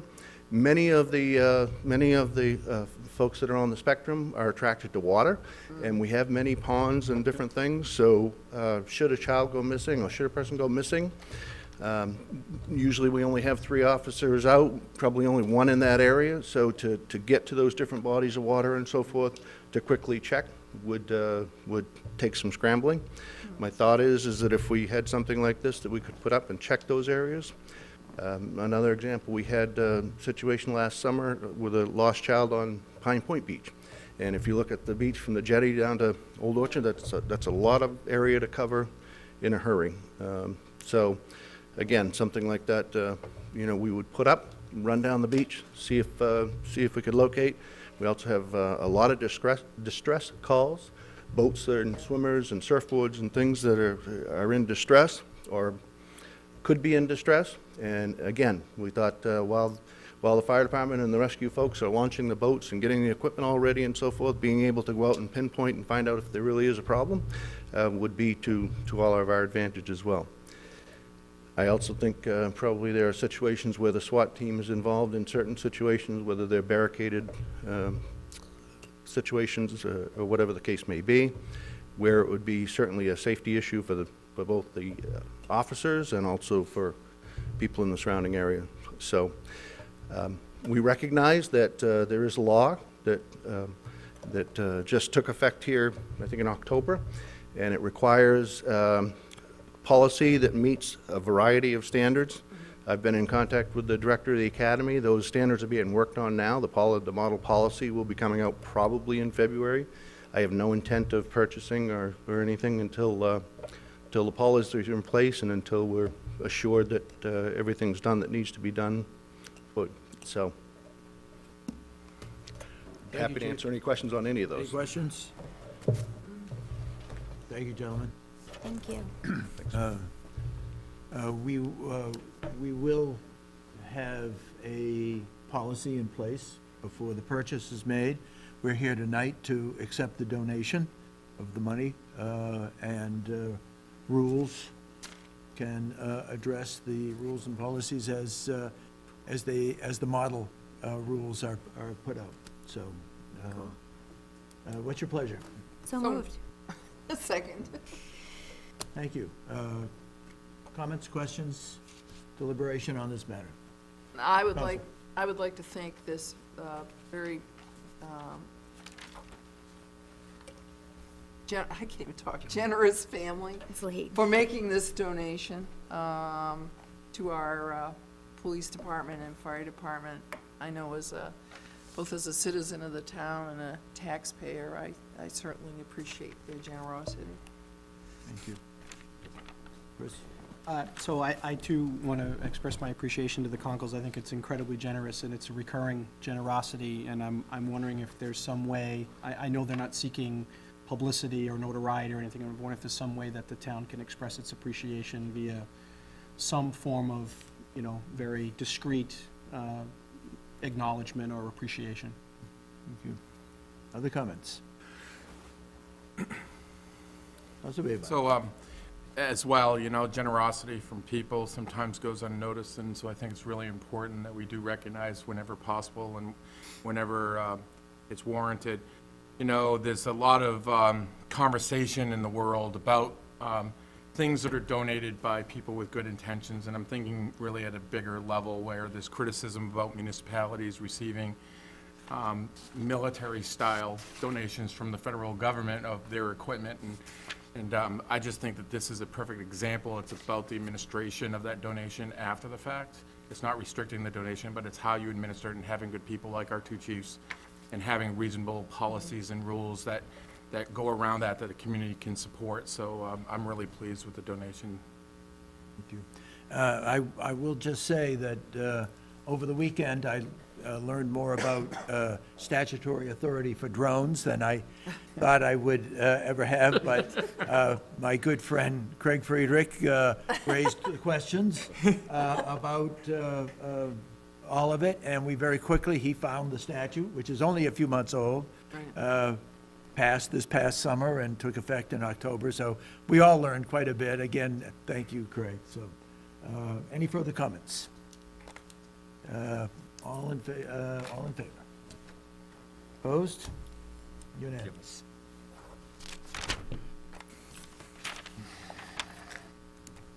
Non-action items, no. Uh, Standing and special committee reports and liaison reports. Uh, Let's start down here at Councilor Babine. Thank you. Um, Really brief updates because uh, we're just getting starting really in the new year, um, the new calendar year for the councils. So um, as a a delegate to SEDCO, SEDCO will have the first meeting of um, our new calendar year tomorrow at 7:30 a.m. I'm sure it will be a full agenda. Um, I wanted to mention that 4 o'clock tomorrow is also ecomaine's um, meeting, which um, thankfully Mike Shar, our second delegate, will be in attendance, and I won't because I have a conflict with a Finance Committee meeting. Um, But we're moving forward, and my goal is that there will be some type of annual report that will be coming out of them uh, to our council, since we are a significant contributor and owner within ecomaine um, in the new year as well. Um, Wanted to mention that on finance, there's really two initiatives underway around finance in the beginning stages. First, um, so to uh, report on really what has been created last year that will carry forward is our joint effort with the school board. We're having a, what I will call a uh, committee chairman's meeting tomorrow with our uh, respective managers to start beginning planning for the new year. Um, the go- That is actually, um, I think, scheduled at 3:30, right, Tom, just to confirm? And that's really to kind of, Jody Shea, who is the Finance Committee Chair on the school board side, and I will meet with Tom and George uh, to talk about, really about the planning session going forward, um, establishing um, guideline, ba- the baseline of what happened last year as the new baseline for this year, um, with the real goal of, of covering what is the, um, uh, what is the timeline and the schedule, because I know that's an extremely important issue for many people. I will mention, although not yet approved, it appears there may be consensus that that joint meeting on a regular basis will meet on the second and fourth Thursday of every month, starting in January at 3 PM. Again, I'll confirm and uh, relay that information to each of you.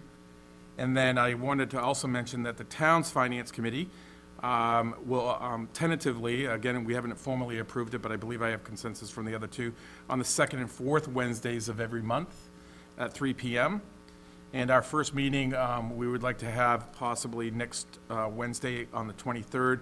It'll be a short session really to wrap up 2015's um, determinations and have a conversation of uh, really planning for the new year and getting our initiatives out there. Um, Hoping it really isn't more than an hour or two, but we have to confirm that with the manager and his schedule first. And um, wanted to mention the library trustees um, um, have gotten great welcome from them, and I want to thank every one of them who've contacted me. I- I'm taking a behind-the-scenes tour of the library next Wednesday.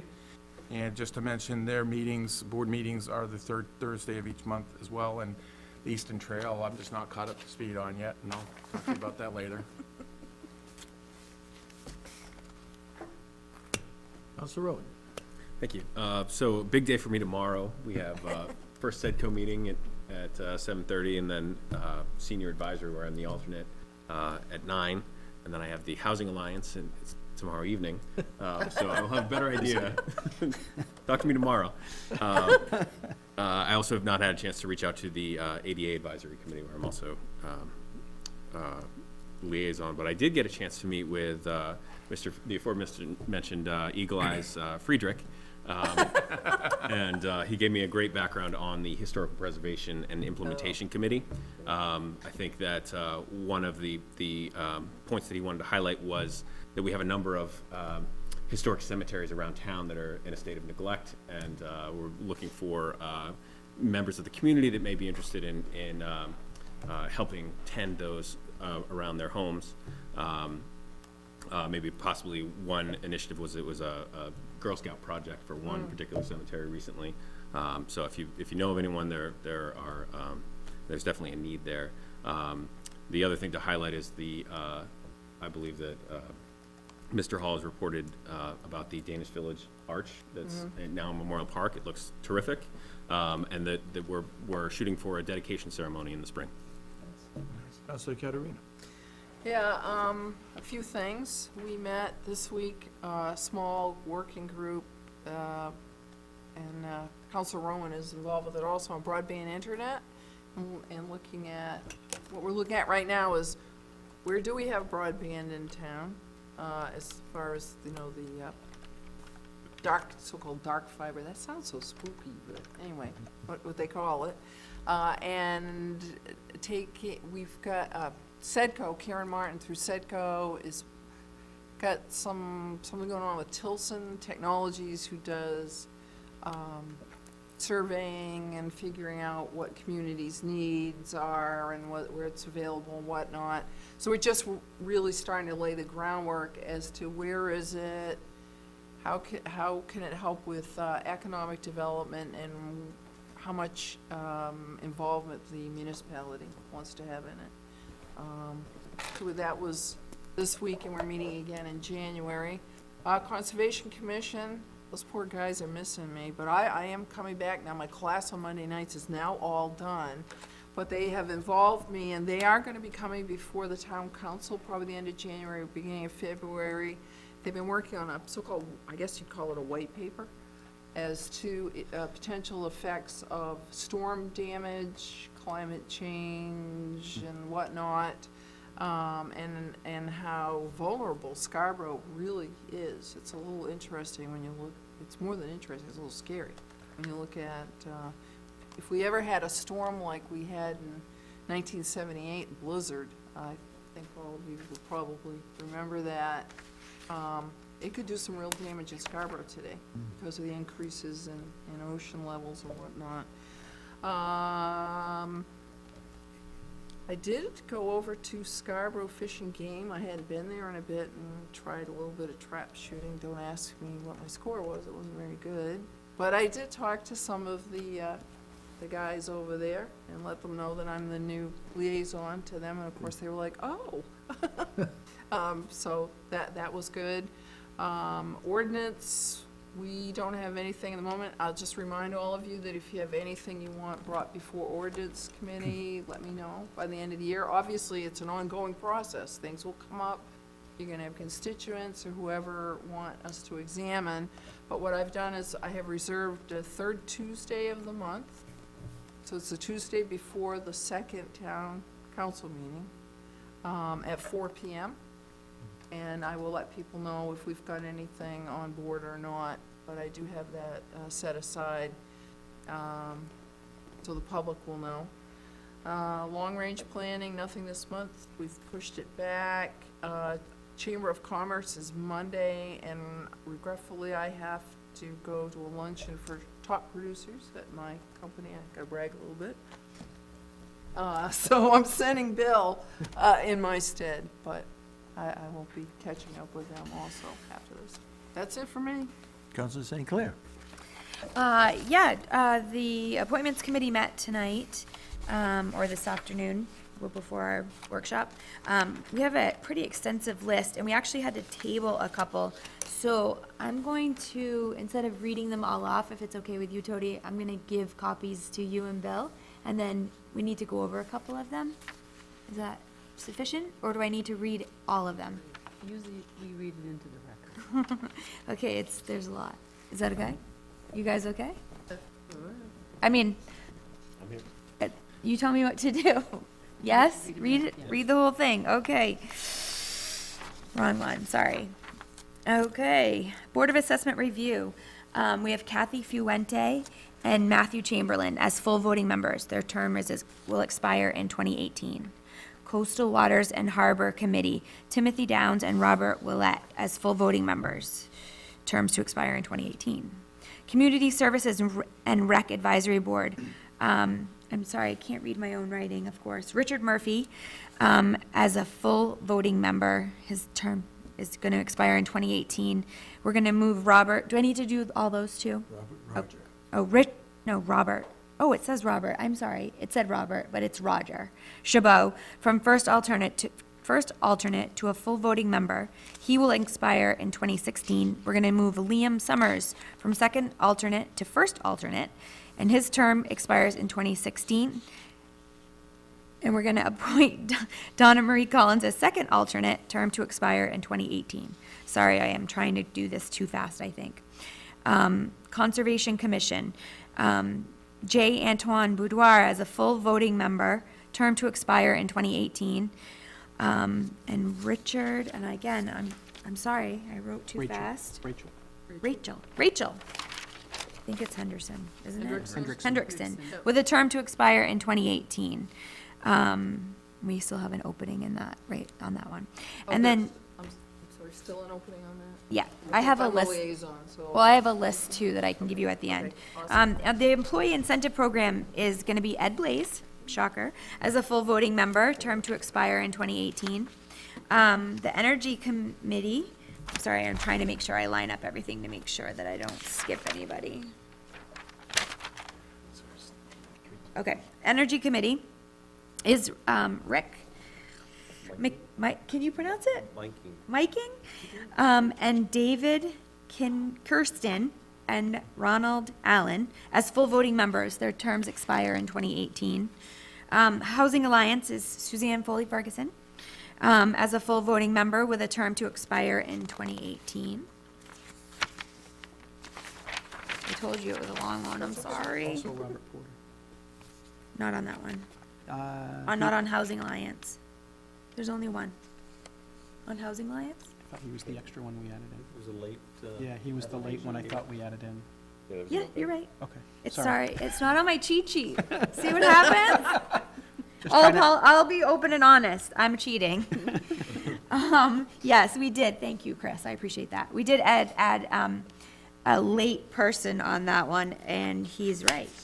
Housing Alliance. and I already lost it again. I'm losing it tonight. Robert Porter. Robert Porter. And he will have a full term, so 2018, right? Okay. Sorry about that. So now we're back to Parks and Conservation, um, Paul Austin and Rachel Hendrickson as full voting members. They have full terms to expire in 2018. Personnel Appeals Board is John, I mean, J. Antoine Bodar again, and Sandra Elquist. They're both coming back as full voting members with terms to expire in 2018. Planning Board, um, Corey Fellows is going to continue on um, with his term to expire in 2018. We're going to move Susan August from first alternate to a full voting member. Her term is actually ex- expires in 2016. We move Roger Beely from second alternate to first alternate with a term to expire in 2017. And we're going to put Robin Saunders as um, second alternate with a term to expire in 2018. Um, Pest Management, I want to make sure I'm getting everybody. Pest Management Advisory Board, um, we have Tim Lindsay and Marla Zando as full voting members. They are going to have 2018 expiration. I almost said expiration dates. That wouldn't be right to say, I don't think. Sorry, starting to get punchy. Senior Advisory Board, um, I have Troy Hendrickson and Penny Bowles as full voting members with terms to expire in 2018. Um, we did table the Shellfish Conservation Commission. Um, that was tabled for tonight because um, it was complicated and we ran out of time. We had to get to our meeting. Um, we did get to the Zoning Board of Appeals, and it's going to be um, Leroy Crockett with a term to expire in 2018. And we're going to move Mr. Stanhope from first alternate to full voting member with a term to expire in 2016. Move Mr. Herbert from second alternate to first alternate with a term to expire in 2016, and Ed Blaze as second alternate with a term to expire in 2018. I apologize for any mistakes I may have had. I- eh, You can't have, that. I have to rewrite it. I'm gonna make it neater, oh, is that all right? I'm really sorry. Even with the cheat sheet, Tony, I still screwed up. Peter? Yeah, good evening. Um, I think we've already talked about the Shellfish C- Conservation Committee that met. We talked about licenses and the other liaison. Um, We have the Transportation Committee that met, and there's lots of projects going on. There was an update on sort of the Gorham Road Improvement Project that is a pretty extensive project that kind of extends from the school all the way down to Payne Road. There's five sort of different zones, and they're looking at not only resurfacing the road, but also putting in some bike and multi-use paths. So that, that will be something, that will be future conversations. Um, Talked a little bit about some of the plans around doing some Pine Point Road updates, especially from the new bridge down to, you know, down to the beach. Um, Talked about some conversations around maybe considering putting bus shelters in at about five locations up and down sort of Route One. Um, and actually fixing or taking a look at the pedestrian crossing that's down by the Hannaford Plaza where it comes out by, there's, there's some real issues about that. Um, and the perpetual conversation continues to be looking at Winnock's Neck Road and a quiet zone for the trains. Um, but that's become, as usual, and you're dealing with federal regulations and other things, a complicated issue. So those are just kind of a sample of things going on. But thank you, Will, for bailing me out tomorrow with, the- with the senior, thank you. Got it, Thank you. Chris?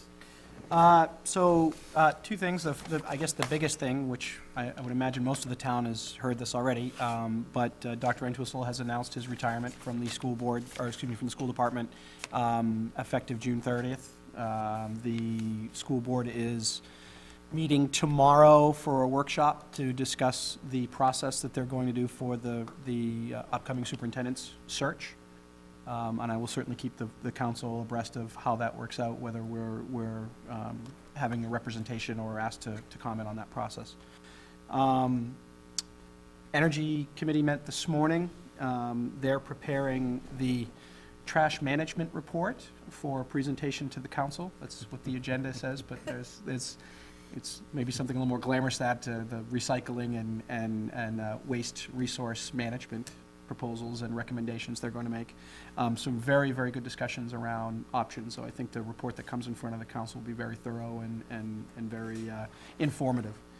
Uh, We also looked at the uh, solar panel zoning amendment that we passed this evening. We we did a- a cursory look through that real quick. Um, uh, And we had a couple of things that, uh, because of the discussions around the trash management report, we put off until the next meeting. Um, One is to discuss um, a program called Star Communities that we'll be looking at exploring, and I'm- I'll have more information hopefully by the end of the next meeting uh, of what what that entails and also the potential for um, new LED street lighting program that's coming out through, um, I believe it's the PUC and Efficiency Maine, Tom, if I'm not mistaken, um, uh, with options for the town to look at potentials for replacement or um, uh, installation of new, new streetlights. Um, So, uh, next meeting for energy is scheduled uh, January 21st.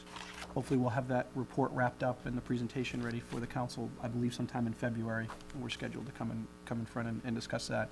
And obviously, school board will be meeting tomorrow night, so I'll have more information to report on that as well. Thank you, Chris. Uh, I attended uh, the Energy Committee meeting with Chris today as I handed off uh, to him. Uh, It's a great group, great working group. Uh, They've worked very hard on the uh, uh, municipal solid waste analysis. Uh, We are probably looking at a workshop in uh, February. Right now, that's where town manager and I are, are booking out to for, uh, for workshops, and we'll provide more information on that in the weeks ahead. Good. Town manager's report. Thank you, Mr. Chairman. Uh, Just a couple of quick points of interest. Um, Just want to relate, uh, you know, the council met and did its goal process uh, this evening. I just want to relate, uh, uh, through my senior staff, for lack of a better term, we've been doing some strategic planning, or at least strategic talking, and we've come up with a couple of focus areas. And the two areas are, first, center around communication, and you'll be pleased to hear that. That was certainly a major theme of yours. Uh, And also, the other one is staff development and succession planning, some really kind of nuts and bolts uh, organi- organizational pieces. But there really, you know, clearly is some commonality around communications. Uh, There's also the vision committee that's working with this all-committee summit, talking about the same sort of thing. So I think perhaps the stars are aligning that we can actually make some uh, headway this year, so I'm- I'm encouraged about that. I want to relate for the public, uh, we received notice that Prouts Neck Country Club is doing some stabilization work on the Black Rock Road. Uh, This is the area that extends, as you're standing in the parking lot at Ferry Beach, it's the beach down to the right. Black Rock Road runs along the top of the bluff there, and it's experienced some pretty significant erosion issues. Um, I mention that because they have chosen to close that portion of the beach uh, as a construction site, and there's no entry during that period of that time. They do own that area, and it's certainly within their rights. Uh, But uh, many residents do choose to uh, recreate in that area, but they won't be able to in the near term. Uh, Pleased to mention uh, our further interest and support of the Habitat Project. We've been able to come up with four different work dates for town staff.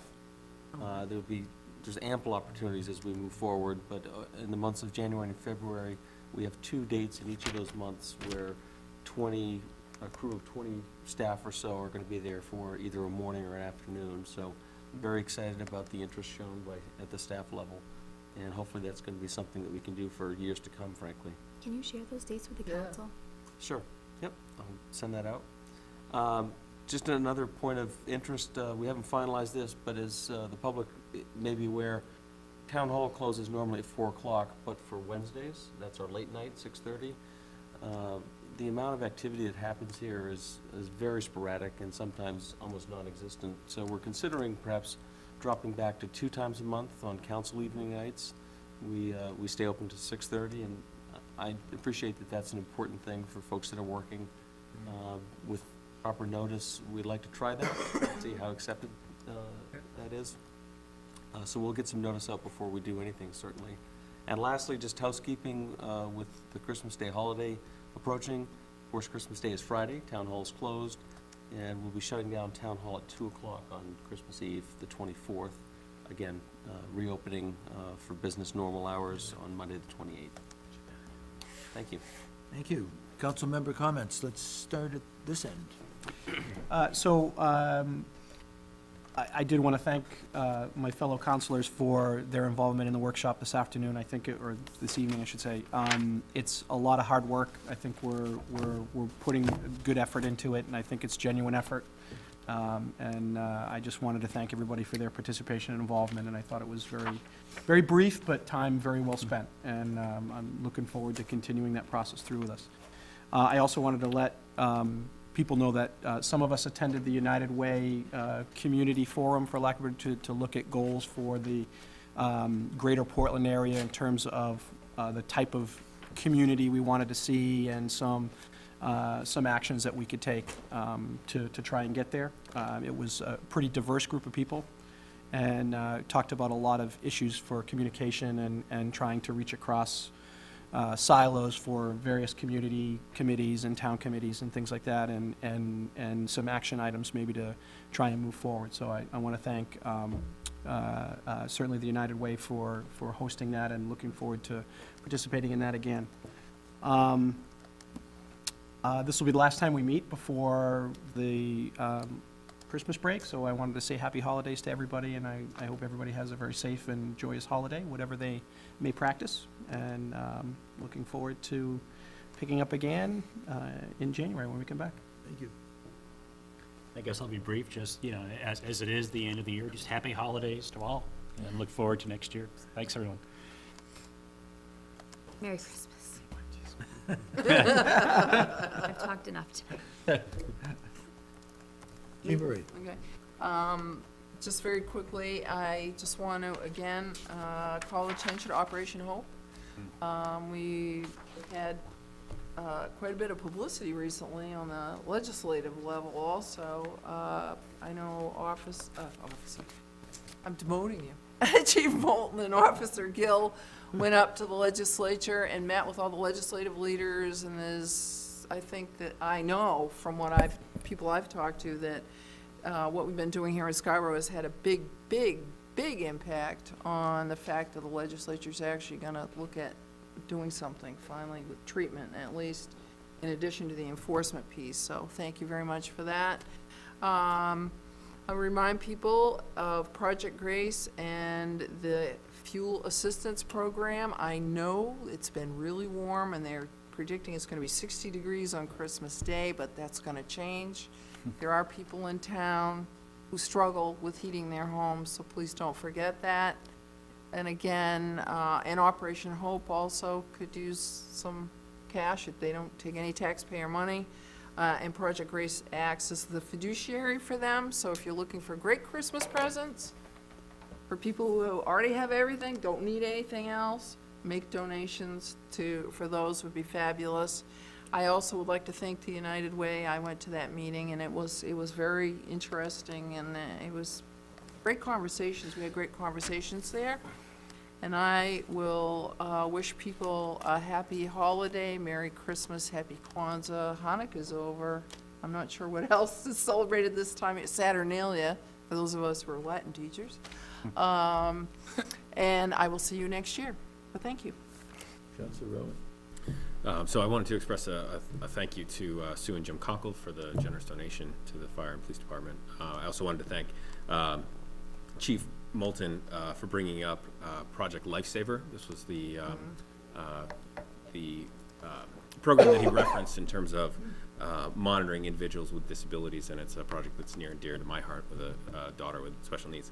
Um, I also wanted to highlight that uh, something that I found out recently was that we have a, a town email newsletter, and you can sign up on the website uh, and, and have uh, a newsletter delivered. Um, I also had the opportunity to join the United Way uh, community conversation, and I wanted to thank uh, Jim Elkins for hosting that. Um, I also wanted to express that I really appreciate the indulgence of the council as I tilt at windmills and try and understand the uh, state education subsidy, and um, certainly any guidance that can be offered to me If you uh, figure it out totally, I I'm- will. I'm going to get to the bottom of this. I, Okay. I, I can smell that we are missing money, and I'm going to find it.